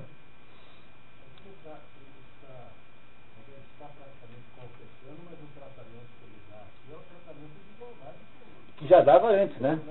Já dava antes, isso mesmo. Adrian confessou em seguida, para a incredulidade dos presentes, que desde a idade de 21 anos estava casado com Satanás e, almejando conquistar a glória nesse mundo, deu a ele uma promessa e fez um pacto, de modo que tudo que realizou ao lapso de 24 anos originou-se unicamente graças à ajuda dele e à obra do diabo, inspirada pelo anjo da peçonha. Na sala reinava silêncio tenso, penoso. Adrian permanecia sentado, lívido e sombrio. Continuou seu soturno relato, dizendo não ter necessitado de uma encruzilhada na floresta, de pentagramas mágicos e grosseiras conjurações, tendo bastado mariposa, uma butterfly multicolor, multicolor, hétera esmeralda, para associá-lo ao diabo. Um poeta, Daniel, Daniel Zuhörer, interrompeu o discurso para exclamar: Muito lindo, a beleza nisso. Sempre tem alguém que não entende nada, né? E sempre tem o sujeito que é o sujeito que melhor não entende nada, que é esse aqui. Adrian prossegue contando que toda a sua vida, a começar pelos estudos teológicos em Halle, haviam sido uma preparação para um matrimônio com o outro, por causa da arte. Mas sentia com demasiada clareza. Esta é a época em que já não é possível realizar uma obra de modo piedoso, correto, com recursos decentes a arte deixou de ser exequível sem a ajuda do diabo e sem fogos, fogos internais sobre a panela. Sim, sim, meus caros companheiros, certamente cabe aos nossos tempos a culpa de que a, a culpa de que a arte estagna, que se tornou por demais difícil e zomba de si mesma, de tudo se tornou por demais difícil e a pobre criatura de Deus, Deus já não percebe uma saída na sua miséria. Quem mais convidar o diabo a, sa, a, sa, a sair a sua casa, tá? É sua, não é sai, tá? Tem um errinho ali. Para superar e romper para fora, comprometerá sua alma e tomará a carga da culpa dos tempos sobre a própria nuca, de modo que acabará condenado. Prosseguiu Adrian dizendo que o grão tinhoso lhe tinha dado a pequena sereia em casamento, Ela era, era, era ela minha irmã e minha doce noiva. Chamava-se Ifialta.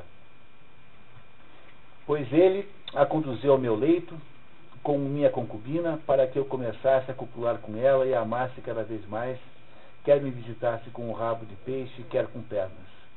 Mas a miúde vinha ter comigo com o rabo de peixe, já que as dores que lhes trespassavam as pernas como cutelos ultrapassavam o prazer eu gostava muito de ver como seu delicado tronco se fundia graciosamente com o escamoso rabo.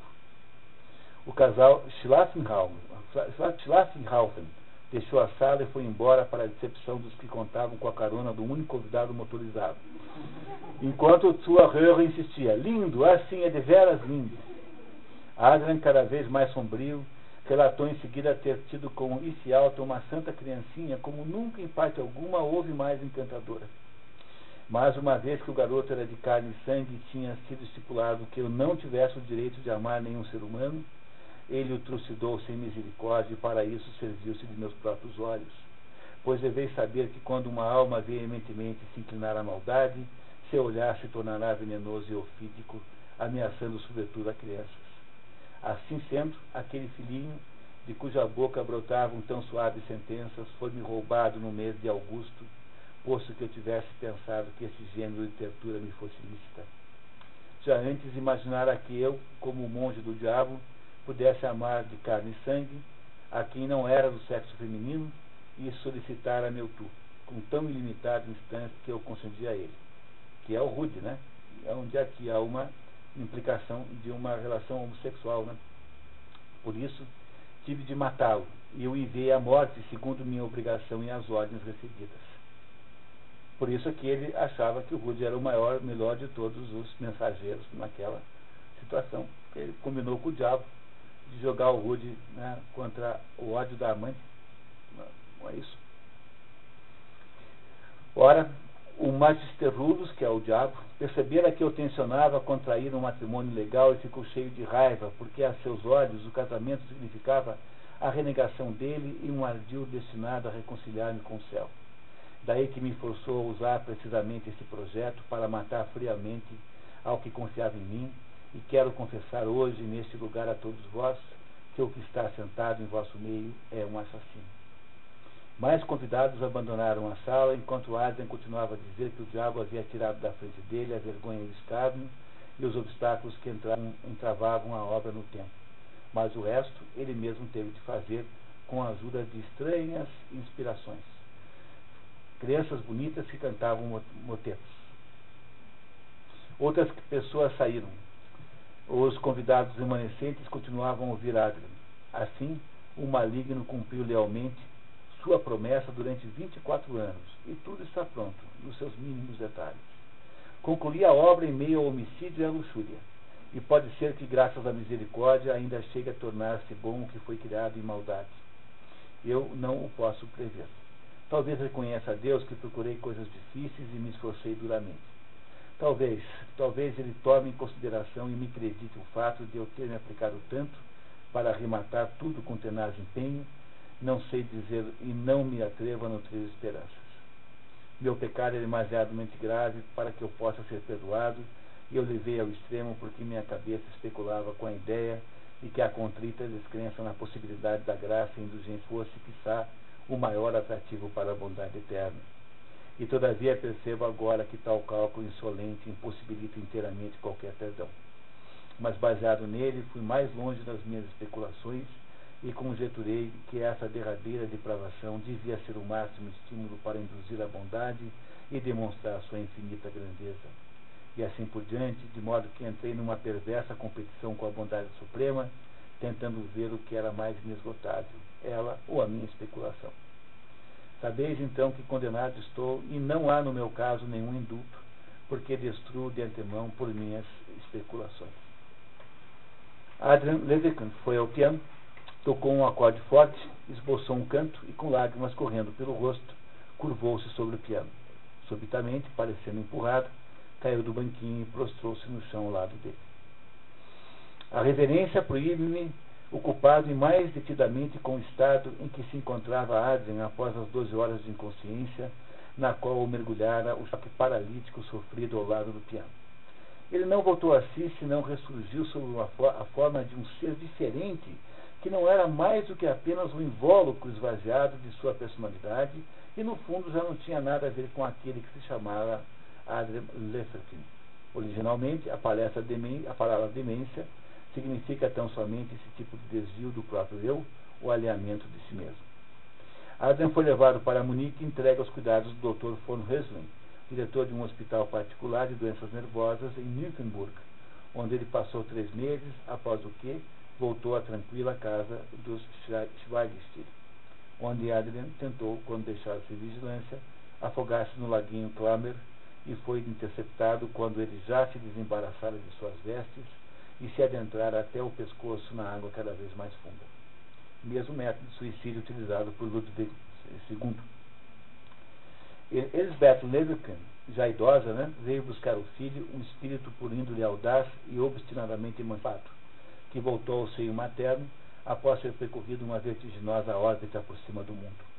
Na casa de Buchel, Adrian, Adrian voltou a habitar o mesmo quarto do primeiro andar que nos seus tempos de menino partilhara com seu irmão mais velho, Georg. O narrador o viu ainda em 35, quando dos seus 50 anos. Adrian tinha a boca dolorosamente aberta e os olhos vazios, e também em 39, depois da vitória alemã sobre a Polônia. Viu mais uma vez em 39, depois da vitória sobre a Polônia, um ano antes de sua morte, a qual a mãe, então octogenária, ainda devia assistir. Nessa ocasião, ela me acompanhou escada acima até o quarto dele, no qual entrou, animando-me a fazer o mesmo com as palavras. Venha, venha, ele não notará a sua presença mas cheio de profundo respeito, está aqui no limiar da porta, no fundo da peça, no sofá, mantendo os pés na minha direção, de modo que eu podia enxergar o rosto, jazia estendido, agasalhado por um leve cobertor de lã, aquele que em outros tempos fora Adrian Lerling, e cuja parte imortal ainda se chamava assim. As mãos lívidas, cuja forma sensitiva sempre me tinha sido tão cara, estavam cruzadas por cima do peito, como nas estátuas jacentes das sepulturas da Idade Média a barba mais acentuadamente grisalha espichava ainda mais o rosto afinado, a ponto de torná-lo muito semelhante aos dos nobres del Greco. Poder-se dizer que uma brincadeira sardônica da natureza produzia a aparência da mais sublime espiritualização numa pessoa do qual o espírito se distanciara. Profundamente escovados, os olhos quedavam-se das órbitas. As sobrancelhas tinham ficado mais espessas, e debaixo delas o fantasma fitava-me com uma mirada individualmente séria, perscrutadora, a revelar um quê de ameaça. Mirada essa que me fez estremecer. Mas, um segundo após, como que se apagava, de modo que os globos oculares se viravam para cima, quase desaparecendo sob as pálpebras, e ali vagavam incessantemente de lá para cá.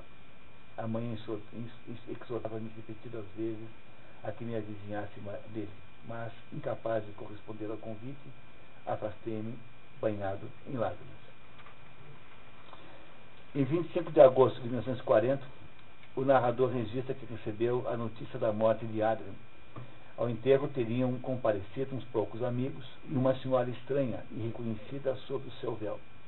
Quando as primeiras pás de terra caíram sobre o caixão, ela desapareceu. Quem será que é? Então, vocês gostaram dessa história? É uma história pesada, né? Eu sei que a história é pesada e, e, e não é a história mais agradável que você possa imaginar, né? Mas é uma história muito bem contada. Vocês repararam que é uma história magnífica, né? Extraordinariamente bem contada. É a obra de maturidade do Thomas Mann ele não escreveu mais nada. Ele, em seguida, editou um livro chamado O Eleito, é, que ele deve ter escrito depois desse, e morre, morre em 55. Não, não tem mais nada novo. Então é praticamente a última obra de Thomas Mann, já na maturidade da vida, tendo passado por tudo que passou. Imagine você escrever este livro sobre a sua pátria, no momento em que a sua pátria está sob a, a, toda a pressão militar do mundo ah, imagine que coisa notável é o sujeito capaz de fazer uma obra dessa. Né? É muito meritório, sob o ponto de vista pessoal, de capacidade pessoal, afinal. Né? Pois essa história é uma história maravilhosa, magnífica, que tem muito a nos ensinar. Mas eu queria começar o nosso debate aqui perguntando se vocês perceberam a ligação que há entre o Zeitblom e o Adrien. O que, que parece ser um do outro, afinal de contas? Duplo, né? Claramente é o duplo. O Adrien, o Adrien eh, Levitin e o Zeitblom, o, o Serenus Zeitblom, são a mesma pessoa.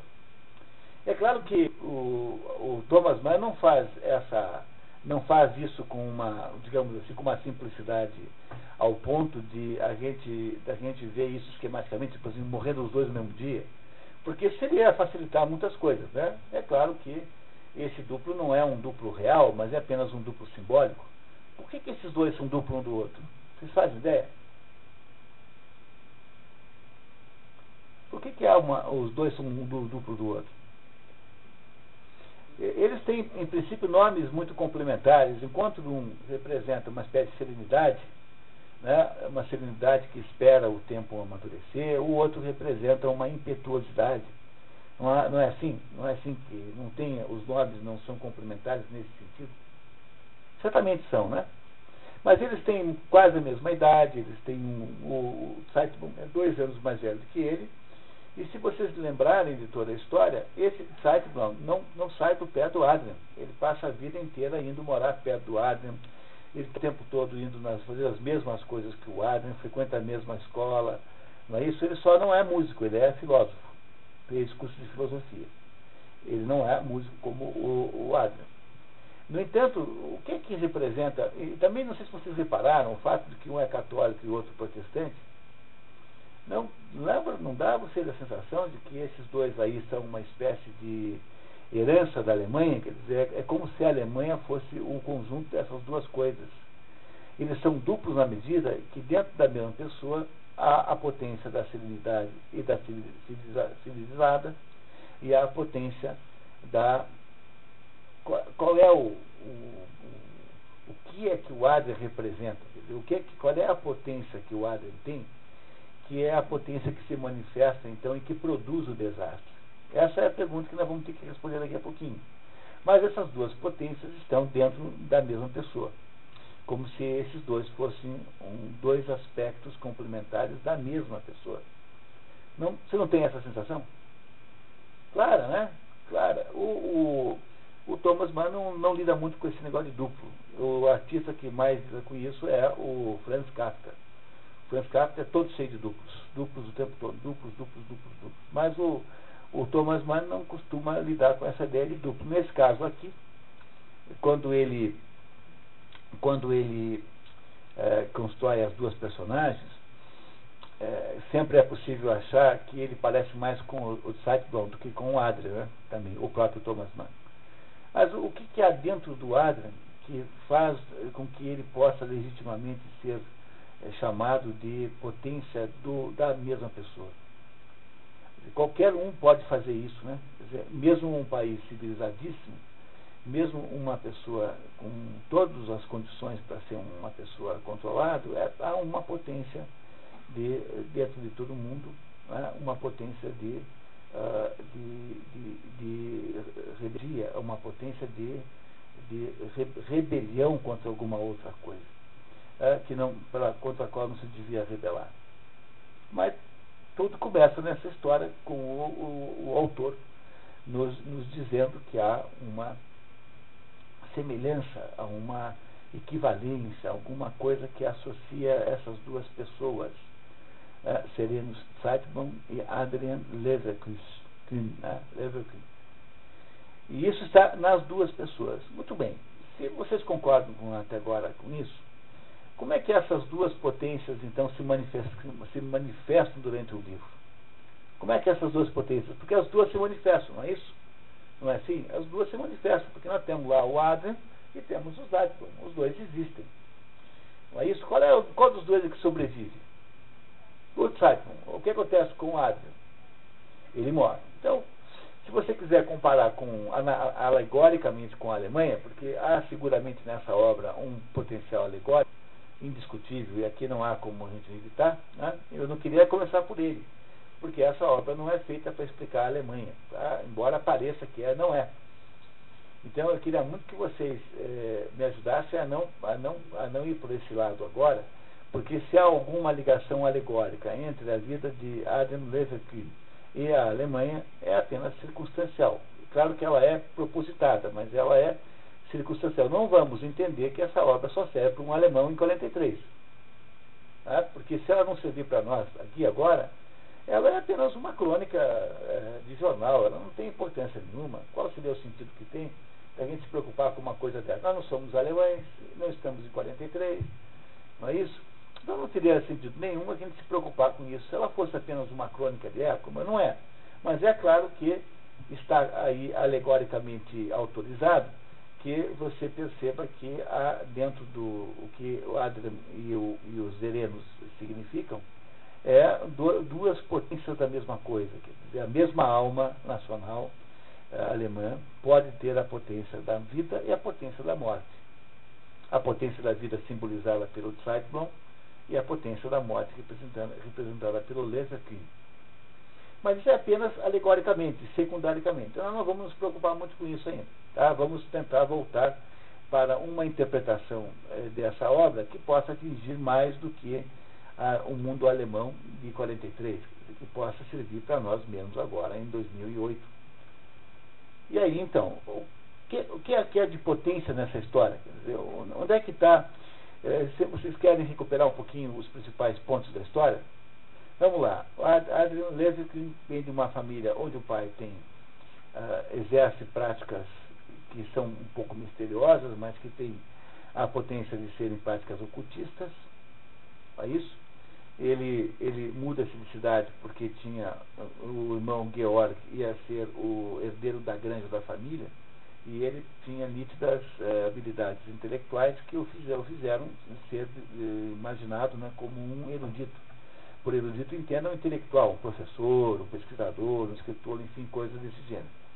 Ele se muda para uma outra cidadezinha, que é onde ele conhece o narrador, uma cidadezinha fictícia, onde ele então vai morar na casa do tio, que é luthier, e que, portanto, cria um ambiente eh, musical em torno do menino. O menino começa a se interessar por música. Com 14 anos, está lá convivendo e aprendendo coisas, mas decide estudar é, teologia, achando que a música deveria estar subordinada a alguma coisa maior, entendeu? que é a, a, ciência divina, ou teologia, como queiram chamar. E então resolve estudar teologia justamente para, nas palavras do narrador, rebaixar a música a um tamanho em que ela caiba, ou seja, abaixo de uma coisa maior do que ela. No entanto, ele não, não, não persiste nesse plano e mostra ao narrador uma clara, um claro desinteresse em continuar estudando teologia, correndo até o risco de não conseguir nem fazer os exames, largar a escola antes dos exames. Nós sabemos, no entanto, não porque eu resumo tente, mas porque eu contei para vocês, que ele terminou o curso de teologia e, é, em vez de se transformar em professor, decide voltar para. Agora, o seu professor mora em, em, em Leipzig, né, que é um, ele, ele vai para Halle, estava estudando em Halle teologia, o Zeitblom mora em Halle para poder conviver com ele, e agora ele decide ir para Leipzig, onde o seu professor, eh, que era americano, mas um pianista mais alemão de nascimento, morava, tinha lá uma cátedra num conservatório. E ele então vai para Leipzig e nessa chegada a Leipzig ele é, é lá é, não é bem tapeado, mas há um, um, um, carregador de malas o leva para um bordel sem que ele saiba que vai que ia para um bordel, onde então ele conhece lá a tal da moça com uma roupa original, uma morena, né, com, com uma roupa espanhola, e se assusta, sai correndo, escreve uma carta para o amigo contando a história de maneira engraçada.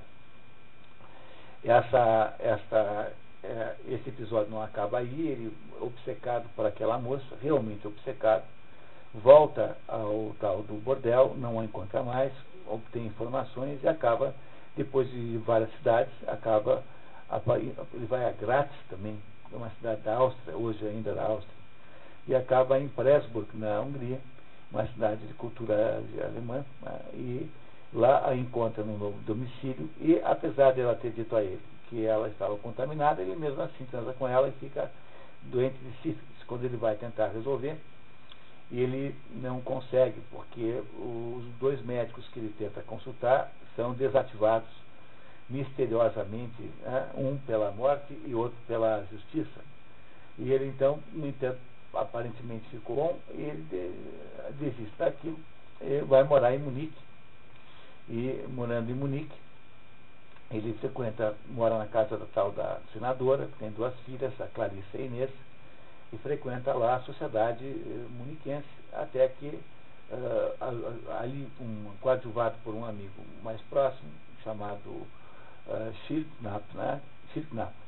E esse, com esse amigo, os dois vão para a Itália, para a Palestrina, passaram uma época, ele para escrever a tal da, da ópera, a música da ópera Love's Labour's Lost, de Shakespeare, e o, o outro para escrever, na esperança que o outro pudesse escrever o libreto para ele, porque o outro era tradutor.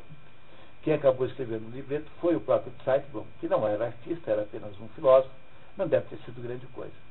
Nesse, nessa estada lá em, em Palestrina, acontece um encontro com o demônio, um encontro muito interessante. Na verdade, o resumo diminuiu muito, tem aí umas 10 páginas, muito interessante, muito bem feito, vale a ler é, tudo, né, a íntegra. E nesse, então, nesse, nesse encontro ficam as coisas todas claras, então ele compreende que a sua ampulheta já havia começado a correr desde cinco anos e um dia antes, foi quando ele foi contaminado, e que o diabo então propunha 24 anos, incluído esses cinco anos e um dia, em que ele poderia, teria autoridade, autorização e ajuda do diabo para produzir uma notável obra, uma incrível obra musical. Contanto que ele, como condição, não amasse ninguém e que aceitasse que ele iria ser levado embora no final disso. Ele faz várias tentativas de negociar, mas acaba se dando conta que ele já havia, de alguma maneira, negociado isso antes. Ou seja, que a sua própria autocontaminação, a contaminação voluntária, era uma espécie de uh, assinatura no, no, no, na linha de baixo do contrato. Ele volta com um amigo lá de Palestrina e, em vez de morar na, na casa da, da senadora, vai morar na casa dos Schweigstier, que era uma família estranha, que tinha um cachorro que o, ele incrivelmente controlava, um cachorro bravíssimo. E ele então se isola do mundo nessa casa fica lá crescentemente produzindo obras que aos pouquinhos vão sendo lançadas, até que aparece lá um sujeito que denomina-se eh, empresário e propõe a ele transformá-lo numa pessoa muito famosa e conhecida. Pessoa essa que certamente nos dá a impressão de ser também o diabo em pessoa. Né? Tudo indica que sim. Também sabemos que ele é protegido por uma mulher misteriosa chamada Senhora de Fontolna, que é húngara, como era também a Esmeralda, que o contaminou, e que está em todos os lugares onde ele está, mas porém nunca se encontra com ele. Ele fica cada vez mais separado, mais isolado naquela, naquela propriedade, até que um dia aparece um menino, filho da sua irmã Úrsula, de cinco anos. É um menino extraordinariamente bonito, um menino encantador, como nunca se viu criança tão encantadora, e que misteriosamente começa a adoecer, sofre terrivelmente e cria, portanto, uma situação de absoluto desespero e tristeza em todas aquelas pessoas, e o Adrian atribui aquilo à ação do diabo, porque ele teria rompido com o seu acordo de não amar ninguém, o que não tinha valido também para o caso de um amor homossexual para com o Rude, que de quem eu não falei ainda, mas que havia sido uh, aí uh, engenhosamente enviado pela morte por ele mesmo é, não é isso? Já que ele não poderia ter, de nenhuma maneira, um caso lá com a Marie, porque ele estava proibido de ter é, relações é, amorosas, que ele interpretava como sendo apenas é, heterossexuais. Depois viu que não era, também era homossexual, também era assim. E no final das contas, ele, uh, ele, ele reúne todo mundo, umas 30 pessoas mais ou menos, para contar essa história a partir do, do depois que o fez, tem uma espécie de cinco que cai lá e torna-se um sujeito inválido aí até os próximos anos da sua vida, que são muito poucos. Ele morre aí, então, portanto, em 1940, aí, 40, ou seja, dura mais ou menos mais 10 anos num estado de vegetação, ele é vegetativo, ele é, portanto, um sujeito que não tem mais alma, a sua alma de fato foi levada embora, tornou-se apenas um ser uh, mecânico um ser apenas automático, sem nenhum conteúdo e nenhuma alma possível. Final. É essa história? O que, é que vocês dizem? O que aconteceu aí? Alguém tem alguma ideia? Alguém quer tentar?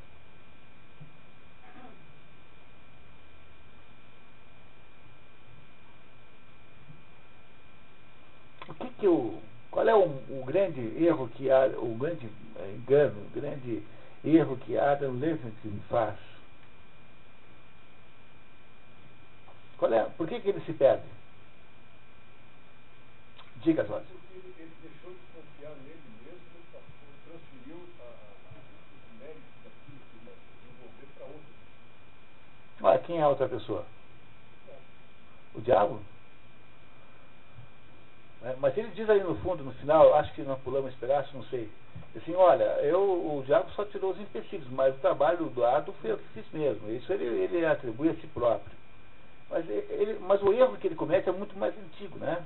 Qual é o erro que Adrian Leverkühn comete e que é a origem de toda essa confusão? É a soberba, mas soberba em que sentido que é a soberba? Dizer, como é que essa soberba se manifesta? Como é que ela se constrói assim, pra, na prática? Assim? Ele se achava o suficiente conforme a, a previsão do próprio diretor da escola, né? Que ele, não é isso, tá?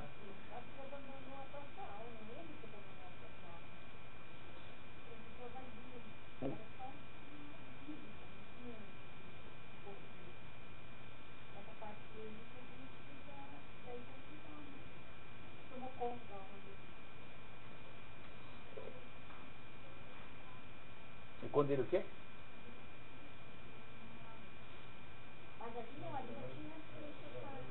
Não, quando ele insiste sobre a esmeralda, até, até o episódio da contaminação em Leipzig, nós não temos nenhuma informação, a não ser uma certa esquisitice, ele é um tipo meio esquisitão, né? mas nós não sabemos assim nada sobre o Adrian que pudesse implicar. Nós sabemos que ele é de família ocultista, Sabemos que ele, aquelas conversas com o professor no início são as, as conversas reveladoras de quem ele é na, na, verdade. Estão aí transpostas aí para o resumo, né? Porque no fundo, no fundo, o problema central ali é que o, o, a ideia que primeiro impressiona Adam é aquela ideia que o professor, né, o, aquele professor né, americano, é, faz, diz de que ele acha que a cultura e a, a a civilização não são a mesma coisa. Quer dizer, aquela ideia de que possa haver uma separação entre a cultura e a civilização e que a cultura pode morrer sozinha porque ela não, ela não, ela não há nenhuma garantia que ela permaneça viva. Então, o que é que o Adrian tenta fazer o tempo todo? Essa é a pergunta que resolve o enigma. O que é que ele tenta fazer o tempo todo do ponto de vista humano? Se você, vamos ver, quais são as motivações do Adrian? Ele quer ser importante, né? Quer. Ele quer dar certo, né? Quer. Mas ele quer uma outra coisa maior do que isso. O que, que ele mais quer na vida? Ele quer salvar a música, não é isso? Ele não quer salvar a música? Porque ele, ele na verdade, achava que a música era algum sub, um subcapítulo da teologia. Porque isso que os luteranos também pensam que é assim. Ele vai para o, o tal do, do, da escola de teologia, mas descobre que não é isso. E volta com o objetivo de ficar apenas com a música. É como se o Adrian Levertin achasse que a música pode substituir a religião. Vocês compreenderam que é o que ele pensa, no fundo?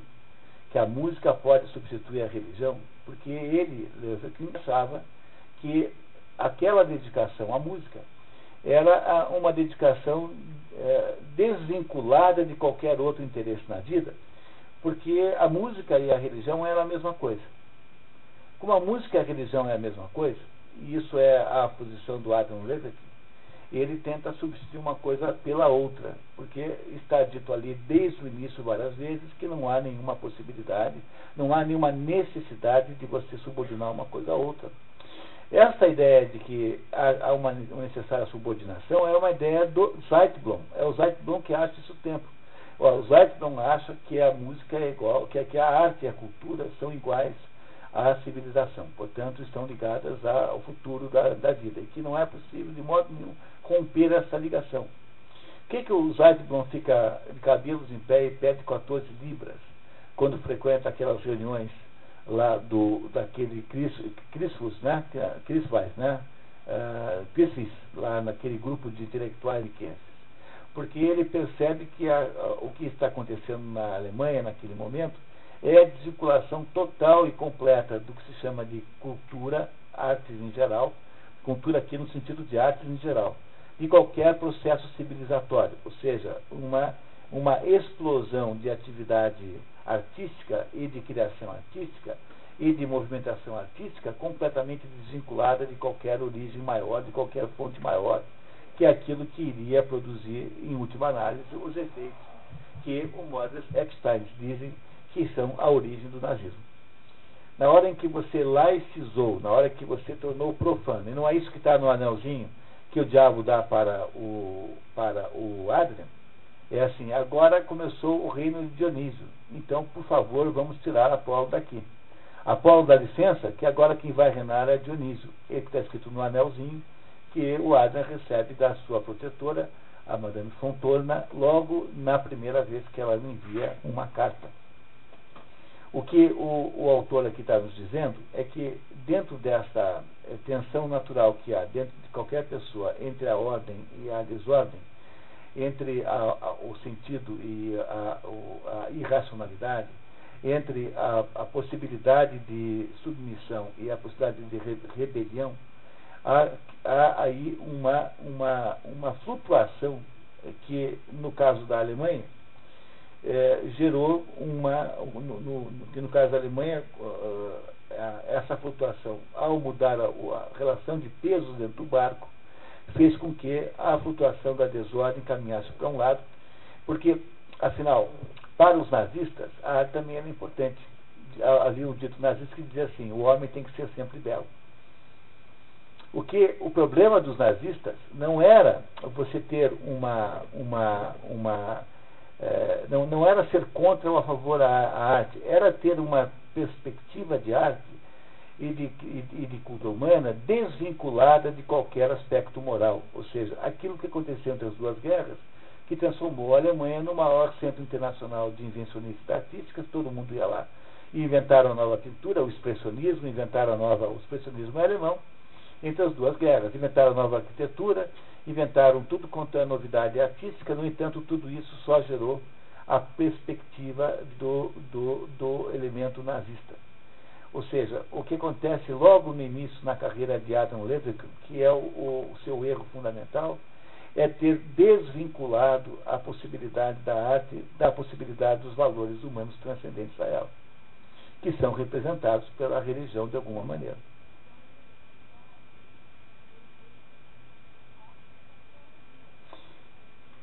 É, é um erro de é um erro de Patrícia é um erro de vaidade é um erro de vaidade é um erro de, de, de assim olha nós vamos nos encarregar de fazer a arte humana agora porque a arte humana é que vai nos divinizar. Não é isso que o diabo diz para o Levitin que ele terá depois de ele passar os 24 anos fazendo aquela obra toda dentro do artista existe um da pessoa, seja qual for ela, existe uma tensão entre essas duas possibilidades, quer dizer, ver-se como sendo é, representando alguma coisa maior do que você e achando-se um criador demiurgo, como se você fosse Deus em pessoa.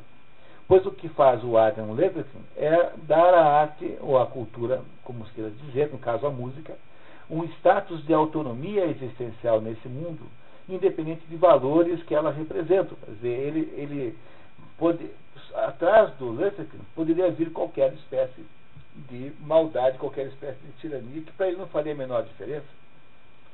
Porque, afinal de contas, ele estava apenas preocupado com a arte em si. E a arte em si não pode existir independentemente dos seus aspectos é, transcendentes, ou seja, alguma coisa que a faz submeter-se e quando você a torna autônoma em relação a esses fatores todos, o que você tem é uma arte que tem, acaba tendo um aspecto diabólico e conforme a avaliação aí desse sociólogo, desse filósofo da sociedade, né, filósofo social, na verdade, né, um, mais um historiador do que um filósofo, é capaz de produzir, a partir desta arte, um incentivo a uma enorme catástrofe política porque a Alemanha nazista, em 1933, quando o Partido Nazista toma um terço das cadeiras do, do Reichstag, né, do, do, do parlamento alemão, o governo nazista nasceu na sociedade mais liberal que se possa imaginar em torno de novas coisas, de novas invenções, de novas ideias, conta aqui o Eckstein nesse livro,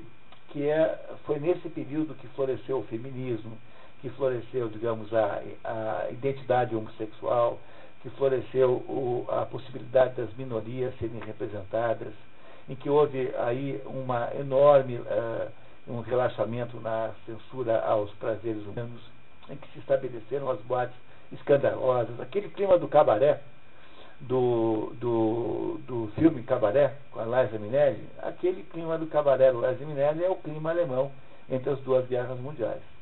Pois é nesse ambiente intelectual extraordinário de que o Adam Leverkusen faz parte, que floresceu o ovo que foi aí gerado e foi incubado, o ovo da serpente do nazismo da, da, do totalitarismo é, econômico e totalitarismo político que acontece aí em seguida. Quer dizer, é como se fosse, tivesse sido este clima de perda da relação entre a arte e os valores superiores, ou seja, pela independentização do Adler em relação ao, ao, ao Zeitblom, como se eles tivessem se dissociados, que se cria uma possibilidade de a arte produzir o efeito paradoxal de permitir, então, uma, é, um, do niilismo artístico nasce um niilismo político. O niilismo político entrega o governo do país mais culto no mundo na mão de uns bárbaros.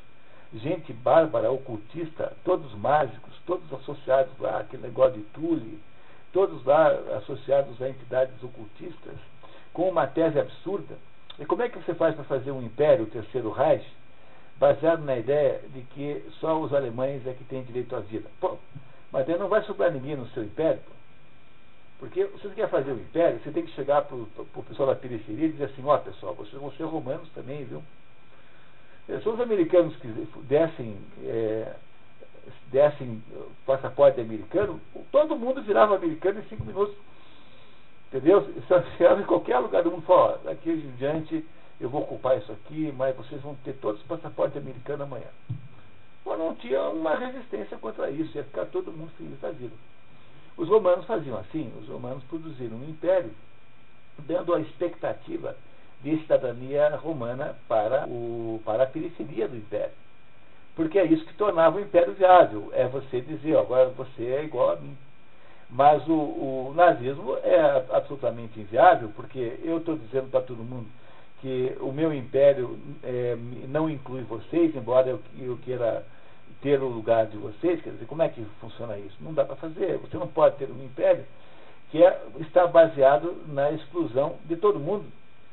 Porque é justamente o império é o contrário, é uma somatória de reinos. O império, tecnicamente, é quando vários reinos se associam. O imperador ele é o chefe de vários reis. E não é o, o rei, um reininho onde só tem você. Isso não é império nenhum. Portanto, a ideia de, de, de terceiro Reich, e chama Reich em alemão, Reich é império, reino, né? Essa é uma ideia completamente viável. O que acontece aí é que um povo mais inteligente do mundo entrou nessa barbaridade não porque eh, seja apenas ele que seja capaz de fazer isso, mas é porque dentro de cada pessoa que existe há a potência de fazer a mesma coisa no seu pequeno âmbito. É, sem envolver países e conquistas e mortes, apenas a sua própria morte, né, na última análise, que é aquilo que nós somos capazes de fazer quando a gente é, quando é capaz de escolher errado e, e decidir pela nossa vaidade, né, quer dizer, no fundo, no fundo, essa é a história, uma enorme, fantástica história do narcisismo humano. Nada talvez seja bem, tão capaz de descrever o que seja o narcisismo humano do que essa história que vocês acabaram de ler. O artista Narciso, aquele que se endeusa a si próprio, que olha no espelho e acha ser o máximo, esse sujeito está o tempo todo tentando assumir o papel de Deus, quer dizer, ele o tempo todo acha que é a sua capacidade de fazer alguma coisa ou transforma num grau superior existencial, quando na verdade Bach, quando fazia a sua obra, achava que estava mais ou menos escrevendo o jeito como os anjos falavam, como eles cantavam. Então, uma coisa é você descrever o que os anjos cantam quando cantam e chamar disso a sua obra, e a outra coisa é você dizer que a sua obra substitui a possibilidade da religião, porque a sua obra é mais importante, maior, é, do que a própria religião. Ou seja, é isso que fez o Adrian Levenkind. Esse, uh, por isso que ele significa viver impetuosamente, né, viver, viver agressivamente. É, ele quer, no fundo, tomar o lugar de Deus. E é isso que fez a Alemanha, a Alemanha narcísica, é, o narcisismo alemão do seu próprio, da sua própria obra, da sua competência extraordinária. Dizer, pode ter povo mais hábil e mais sofisticado que esse, né? Dizer, a Alemanha, com a sua eficiência e com a sua extraordinária percepção de alto valor, produz esse, é, esse desvario narcisista chamado nazismo acha-se capaz de arbitrar sobre quem é que deve viver e morrer sobre a Terra. É, esse é o problema que microcosmicamente está vivendo o Adam Leverkin. Ele quer salvar a cultura. Ele tem até uma boa intenção no início, mas ele não compreende o que é a cultura verdadeiramente, porque ele acha que a cultura, assim ele foi ensinado pelo seu professor, pelo Wendell, aquele professor americano, ele acha que a cultura e a civilização não são necessariamente coincidentes, quer dizer, ele acha que a cultura pode ter uma existência autônoma e que ela não precisa existir uh, uh, subordinada a, a, aos valores transcendentes, da mesma maneira, pela mesma razão pela qual o tanto um, aqueles dois professores, o Flatfuss e o outro, chamava, que chamava-se Klinger, né, esses dois representavam a, deram a ele a justificativa ao dizerem que o bem e o mal estão associados no mesmo estágio, que têm a mesma, o mesmo tamanho. Na hora em que ele aprende com os professores que o bem e o mal são entidades uh, complementares e não são entidades uh, subordinadas, o mal ao bem, ele, nesse momento, acha que fazer o mal é, é bom, ou seja, que o mal passou a ser bom e que ele não precisa mais da subordinação ao bem para poder produzir uma obra artística, que há uma autonomia geral nas coisas de que a arte e a música pode, pode usufruir. É, está, portanto, na contaminação daqueles três, daquelas três origens, do Wendell, depois do, do Kumpf e depois do, do, do Schleppfuss, né? que, que, que está, está a origem do ideário que produz em uh, Adrian Leverton e, portanto, que produz uh, na própria intelectualidade alemã e, de certo modo, europeia da época, essa, esse, essa ilusão de independência e de miurgia, essa possibilidade de produzir o mundo conforme eles gostariam que fosse, e que produz, então, pelo fato do distanciamento com a base que originou tudo isso produz uma arte nihilista, aquela arte berlinense dos cabarés de Berlim, na véspera do nazismo. Tem um, filme do Ingmar Bergman chamado O Ovo da Serpente, que conta, conta muito, muito bem essa história, também maravilhosamente bem conta essa história, tá? de um outro jeito, né? cinematograficamente. Diga, Marco.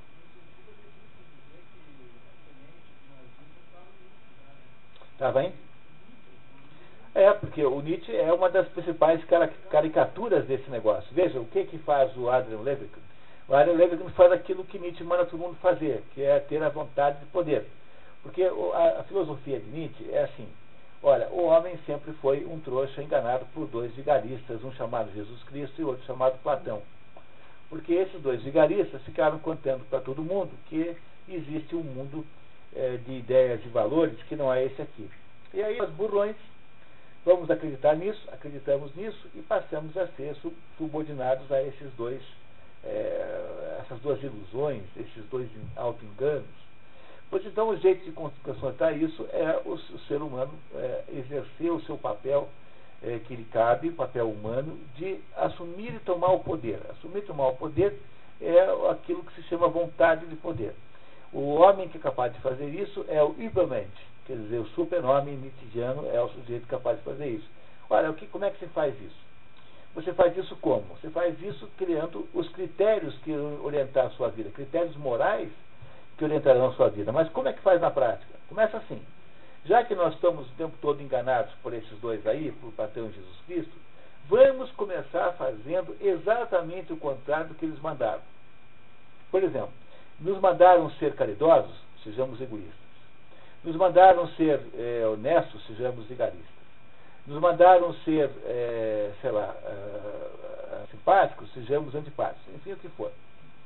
E, então, o que Nietzsche achava é que pela rebelião contra essas duas, digamos, ilusões humanas chamadas cristianismo e idealismo platônico, o ser humano iria, ao enfrentar isso pelo seu oposto e contrário, dialeticamente, portanto, né, o ser humano iria construir a sua própria existência moral.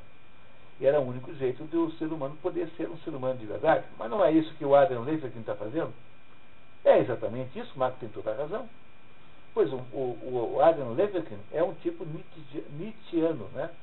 tipicamente um sujeito Nietzscheano na sua acepção pura da palavra.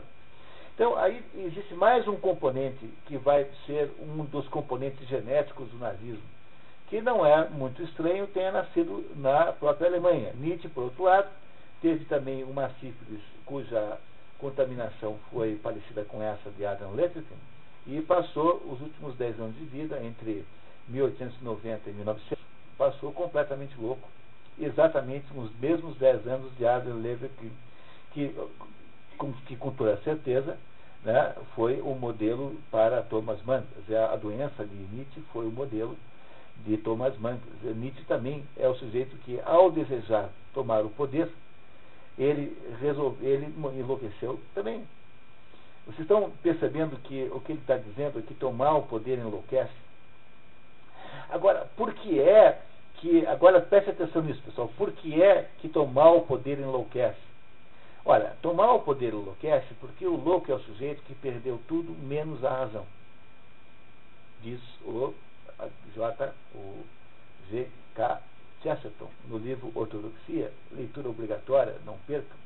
Ou seja, o que é um louco? Um louco é um sujeito que perdeu tudo menos a razão, porque o que, o que faz um louco ser um louco é uma racionalidade estúpida, incrivelmente forte. Para um louco, tudo tem sentido. Tudo pode ser compreendido. Por exemplo, o louco sai na rua achando que todo mundo que está na rua é, o está perseguindo. Agora, se você disser para ele assim, não, mas pergunte lá para o sujeito se está te perseguindo, fala assim, mas ele nunca vai dizer que está me perseguindo. Porque o que faria um perseguidor normal? Ele negaria que me persegue. Portanto, a vida de um louco é uma vida enlouquecida porque ele é, ela é um, de, uma, é de uma tão férrea racionalidade que nada pode ser compreendido fora de um determinado círculo sem saída, uma espécie de looping que você mesmo inventou para você ver. Pois é por isso que o Adrian Levitin, no finalzinho da história, diz que ele não tem solução, porque qualquer coisa que ele invente, qualquer perdão que ele pensa, ele especulará automaticamente. Ou seja, ele ficou prisioneiro da própria mente. E, a, a, e quem é prisioneiro da própria mente é louco. Porque a única maneira de se obter saúde mental nessa vida é você compreender que tudo em volta de você está coberto de mistério e que a nossa existência flutua num oceano de enigmas. E a única maneira da gente ser saudável é aprender a lidar com essa situação, que se faz da seguinte maneira: tudo em volta de você está coberto de mistérios. Mas Deus não botou você à toa nisso. Portanto, há alguma coisa que o protege nesse, nesse trajeto é, tempestuoso, nesse mundo de incertezas. De alguma maneira, nós nos sentimos um pouco confortáveis. Alguma mão que nos ajuda. Esse é o jeito de lidar com isso, não tem outro. É preciso aceitar os mistérios do mundo em torno e aceitar o fato de que, mesmo apesar deles, nós vivemos confortavelmente dentro disso. O louco não é assim. O louco é aquele sujeito que tem certeza absoluta de como as coisas são. Adrian Lesterkin é louco. Ele é louco desde o início, em que ele acha, em que ele vê no pai dele a possibilidade de capturar os mistérios da natureza, que é o que faz o ocultista. Ah, ele acha que com isso ele entenderá a natureza. Ele é louco na hora em que ele acha que compete ao ser humano produzir a própria história humana, no sentido de valores humanos. E a hora que ele tenta colocar a música no lugar da religião, ele faz o quê? Ele, ele sataniza-se automaticamente. Essa satanização é apenas, apenas, apenas confirmada pela sua contaminação. Mas a contaminação, o tais dos bichinhos que temem para o cérebro, não são necessariamente os treponemas. Né? porque poderia haver melhor, melhor é, metáfora para a contaminação das ideias é, é, racionais do que os bichinhos que são os treponemas. Aqueles bichinhos de que o diabo fala não são exatamente os bichinhos, mas são, são as ideias que funcionam como uma síntese sistemática na mente humana, que é o, o modelo de Nietzsche, é o modelo de Nietzsche aplicado a isso aqui. Pois foi a, a vaidade alemã, agora fazendo aquela, aquela, aquele raciocínio, aquele raciocínio, digamos assim, né, é, é, transposto, né, foi a vaidade alemã, foi a enorme a crise narcísica de uma sociedade, de um povo que fez tudo, fez a melhor música, fez a melhor filosofia, fez a melhor máquina, que fez, chegou ao, digamos, momentos mais altos de relação humana, quem o convenceu de que ele tinha virado alguma coisa como Deus. Associa-se isso a uma crise econômica muito forte e, sobretudo, associa-se isso a uma destruição das bases da cultura, ou seja, da retirada da cultura das suas bases transcendentes. O que, que você tem? Você tem uma sociedade enlouquecida, que é a sociedade alemã entre as duas guerras, descrita aqui nesse livro, né? e você tem um apoio social ao primeiro maluco que vier graças ao que? Ao, ao, a, a necessidade e a, a possibilidade. Dizer, o povo alemão não queria genocídio nenhum, mas o povo alemão queria alguém que pusesse ordem naquele negócio.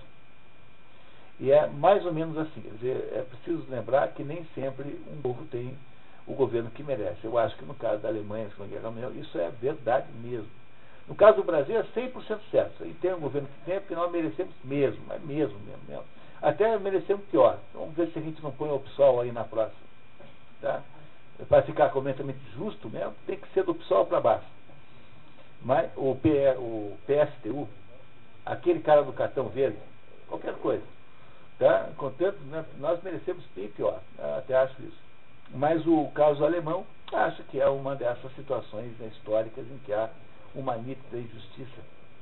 O que é uma, uma, um, um caso para a gente, para o resto do mundo pensar, porque no fundo não se trata de uma tragédia alemã, trata-se de uma tragédia humana. Do mesmo modo que uma grande obra de arte alemã é uma realização humana que interessa a todo mundo, essa tragédia aqui também podia acontecer com qualquer um. O que há aqui a maior história escrita sobre o narcisismo humano que já se encontrou. A título de salvar a cultura, porque você pensa que pode fazer isso, porque você raciocinou e criou essa equação falsa, então você vende a alma ao diabo. o que é fazer isso? É colocar a cultura ao favor, a favor do que? Das paixões humanas mais baixas. É isso que é o diabo, né? Sob o ponto de vista, digamos, da terra aqui, do mundo, o diabo tem diversos níveis existenciais, mas no nível mais baixo, o diabo que é? O diabo é a, é a, a paixão pela matéria, a paixão pela glória da terra, a paixão pela glória local, a paixão pela a falta de, a falta de olhar para o céu, né? é tudo isso que Adrian Leverkund fez. Dizer, ele ele atirou-se dentro de um precipício, de um abismo, que é a mesma coisa que fará depois o Gustav Aschenbach na, na, na história, do, do, na história da, do, da morte em Veneza, que aliás está no nosso cardápio aqui. Eu não sei se é o ano que vem ou se é no outro ano, um dos dois.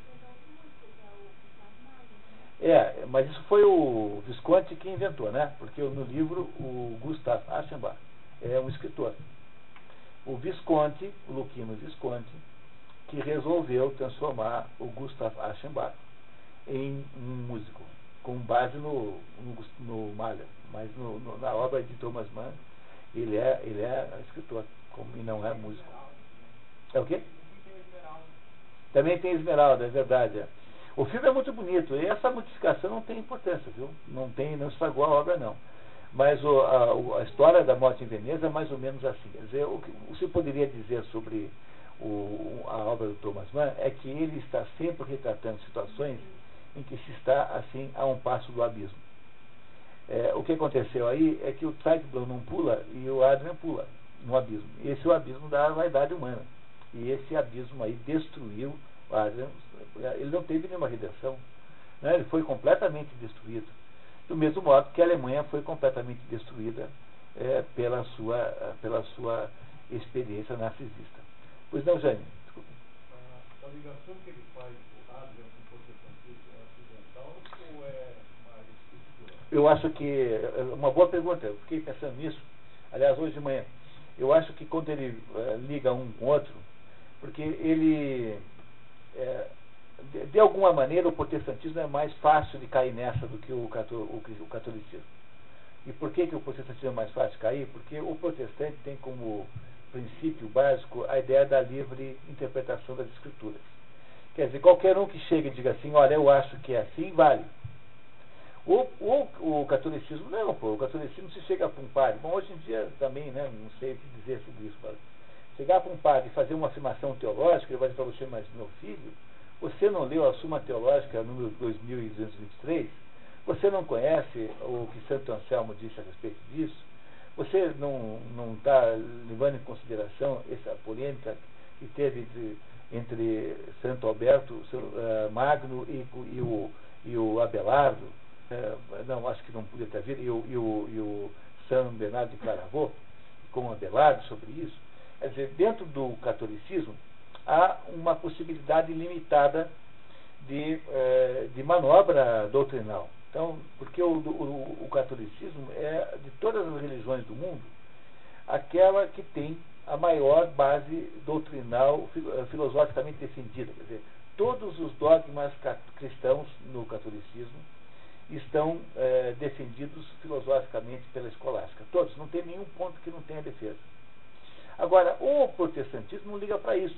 O protestantismo nem, se considera, nem considera isso como importante. Dizer, eles acham o seguinte, que cada um pega abre a Bíblia, vai ser iluminado por Deus, como porque Deus faz isso de favor, e o sujeito sai dali e pode abrir uma igreja na esquina dali a 10 minutos que funciona. Isso é o protestantismo. E é por isso que o protestantismo é muito mais capaz de gerar essas dissidências eh, doutrinárias, que não são capazes de gerar no catolicismo. Agora, eu diria que a maior de todas as, as funções dessa diferença de religião dos dois é mostrar que os dois são a Alemanha, na verdade, né? porque a Alemanha é, é, a- é não só a divisão, mas como ela é herdeira, digamos assim, dessas duas grandes tradições. Porque a Alemanha, embora tenha sido uma das origens do protestantismo, a Alemanha tem uma população católica enorme. Então, você pega, por exemplo, a Áustria, é toda católica. Pega a Bavária, todo mundo é católico na Bavária. Eu fui, eu morei lá, a, a minha a, a senhora lá, onde eu morava, a senhora Schweigstiel, a minha lá, chamava Condessa é, é, von zu Löffelholz, né? von zu von zu Löffelholz, é, von zu Löffelholz, von zu Kohlberg Sforza. Ela era prima do Visconde, ela era casada com o Sforza, que era da família, primo do Visconde. E ela era, assim, uma pessoa com origem nobre, mas ela era pobre, pobre, tinha uma casa e alugava quartos. É como essa condessa aqui do, do, do- da história aqui. E ela- essa, essa senadora, senadora, porque ela, a- todo o patrimônio ficou na Alemanha Oriental. E ela ficou pobre, ficou, conseguiu fugir com os móveis velhos e tal. Então, a primeira coisa que ele perguntou é se eu era católico. Se não fosse, eu não ia querer me aceitar, não. Não ia me aceitar, não. Protestante na casa dela, de jeito nenhum. Então, o Alemanha, embora tenha uma boa dose de protestantismo, também tem um catolicismo muito extraordinariamente forte. Né? Então, me parece que essa é a principal razão. Embora, na teoria, seja mais fácil a dissidência protestante do que a católica. Agora, veja, na prática, acontece exatamente o contrário, porque, embora no protestantismo exista uma teologia da libertação, ela não é nem de longe do mesmo tamanho do que a, a, a teologia da libertação no catolicismo, que é a invenção da CNBB. A, apesar de que aqui a gente não sabe muito bem, né, porque o protestantismo alemão, o luteranismo, não é forte aqui. Então tem esse protestantismo assim meio guapeca aí, do, aí dessas coisas aí, tá? Agora, o, o protestantismo alemão é, verdadeiro, esse é fra- fraquíssimo no Brasil. Então a gente não os percebe. Mas isso, quem é que está por trás da tal da, da, da Comissão eh, Mundial de Igrejas? É o, o movimento de libertação protestante. Quem é que está por trás de todo esse processo aí de inventar comunidade indígena e criar reserva do tamanho da Bélgica? É o protestantismo dissidente internacional, é a turma da, da, da teologia da libertação protestante. Então, Conselho Mundial de Igrejas, né? o nome dessa organização que reúne todos esses protestantismos de esquerda. Então, é, aí você vê que nos dois lugares tem. Né? Mas o que parece aqui ser fundamental entender nessa história, que eu repito, eu repito, é uma história extraordinariamente bem contada, muito bonita, não deixem de ler o livro, é que o, o que acontece finalmente aí é uma é a dissidência da vaidade, ou seja, é o, o, o, o complexo narcisista do, do, da possibilidade criadora humana. Nós, ao sermos criadores tanto quanto criaturas, ficamos sempre na dúvida sobre o que, que nós somos. Quando a gente resolve fazer a, apostasia, que é a palavra que está o tempo todo aí, nós produzimos então uma arte que, desvinculada de origens transcendentes, torna-se uma coisa meramente esteticista. E esse esteticismo que é produzido aí, ele não só não significa nada em última análise, mas como também elimina a, as bases sociais, ou seja, ele permite que a sociedade então regrida e se transforme numa coisa qualquer, até mesmo numa presa de um grupo de aventureiros capazes de transformar o país mais culto do mundo numa, numa república de bárbaros. Foi o que eles fizeram aí, nesses pouquíssimos anos aí que mandaram na Alemanha. O apoio cultural, o apoio popular a isso tem uma origem certamente associada à crise econômica.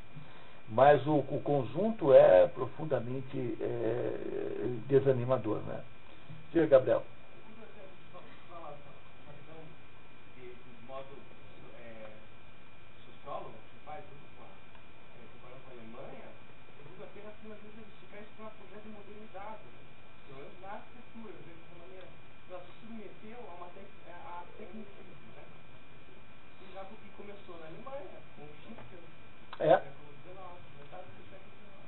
Então, é, é, a história, é a tese do livro do Eckstein, que é uma mistura de é, irracionalismo com tecnicismo. Quando você soma essas duas coisas, você tem uma máquina de guerra voltada para matar o fulano porque é judeu, porque é preto, porque é cigano, seja qual for a razão, entendeu?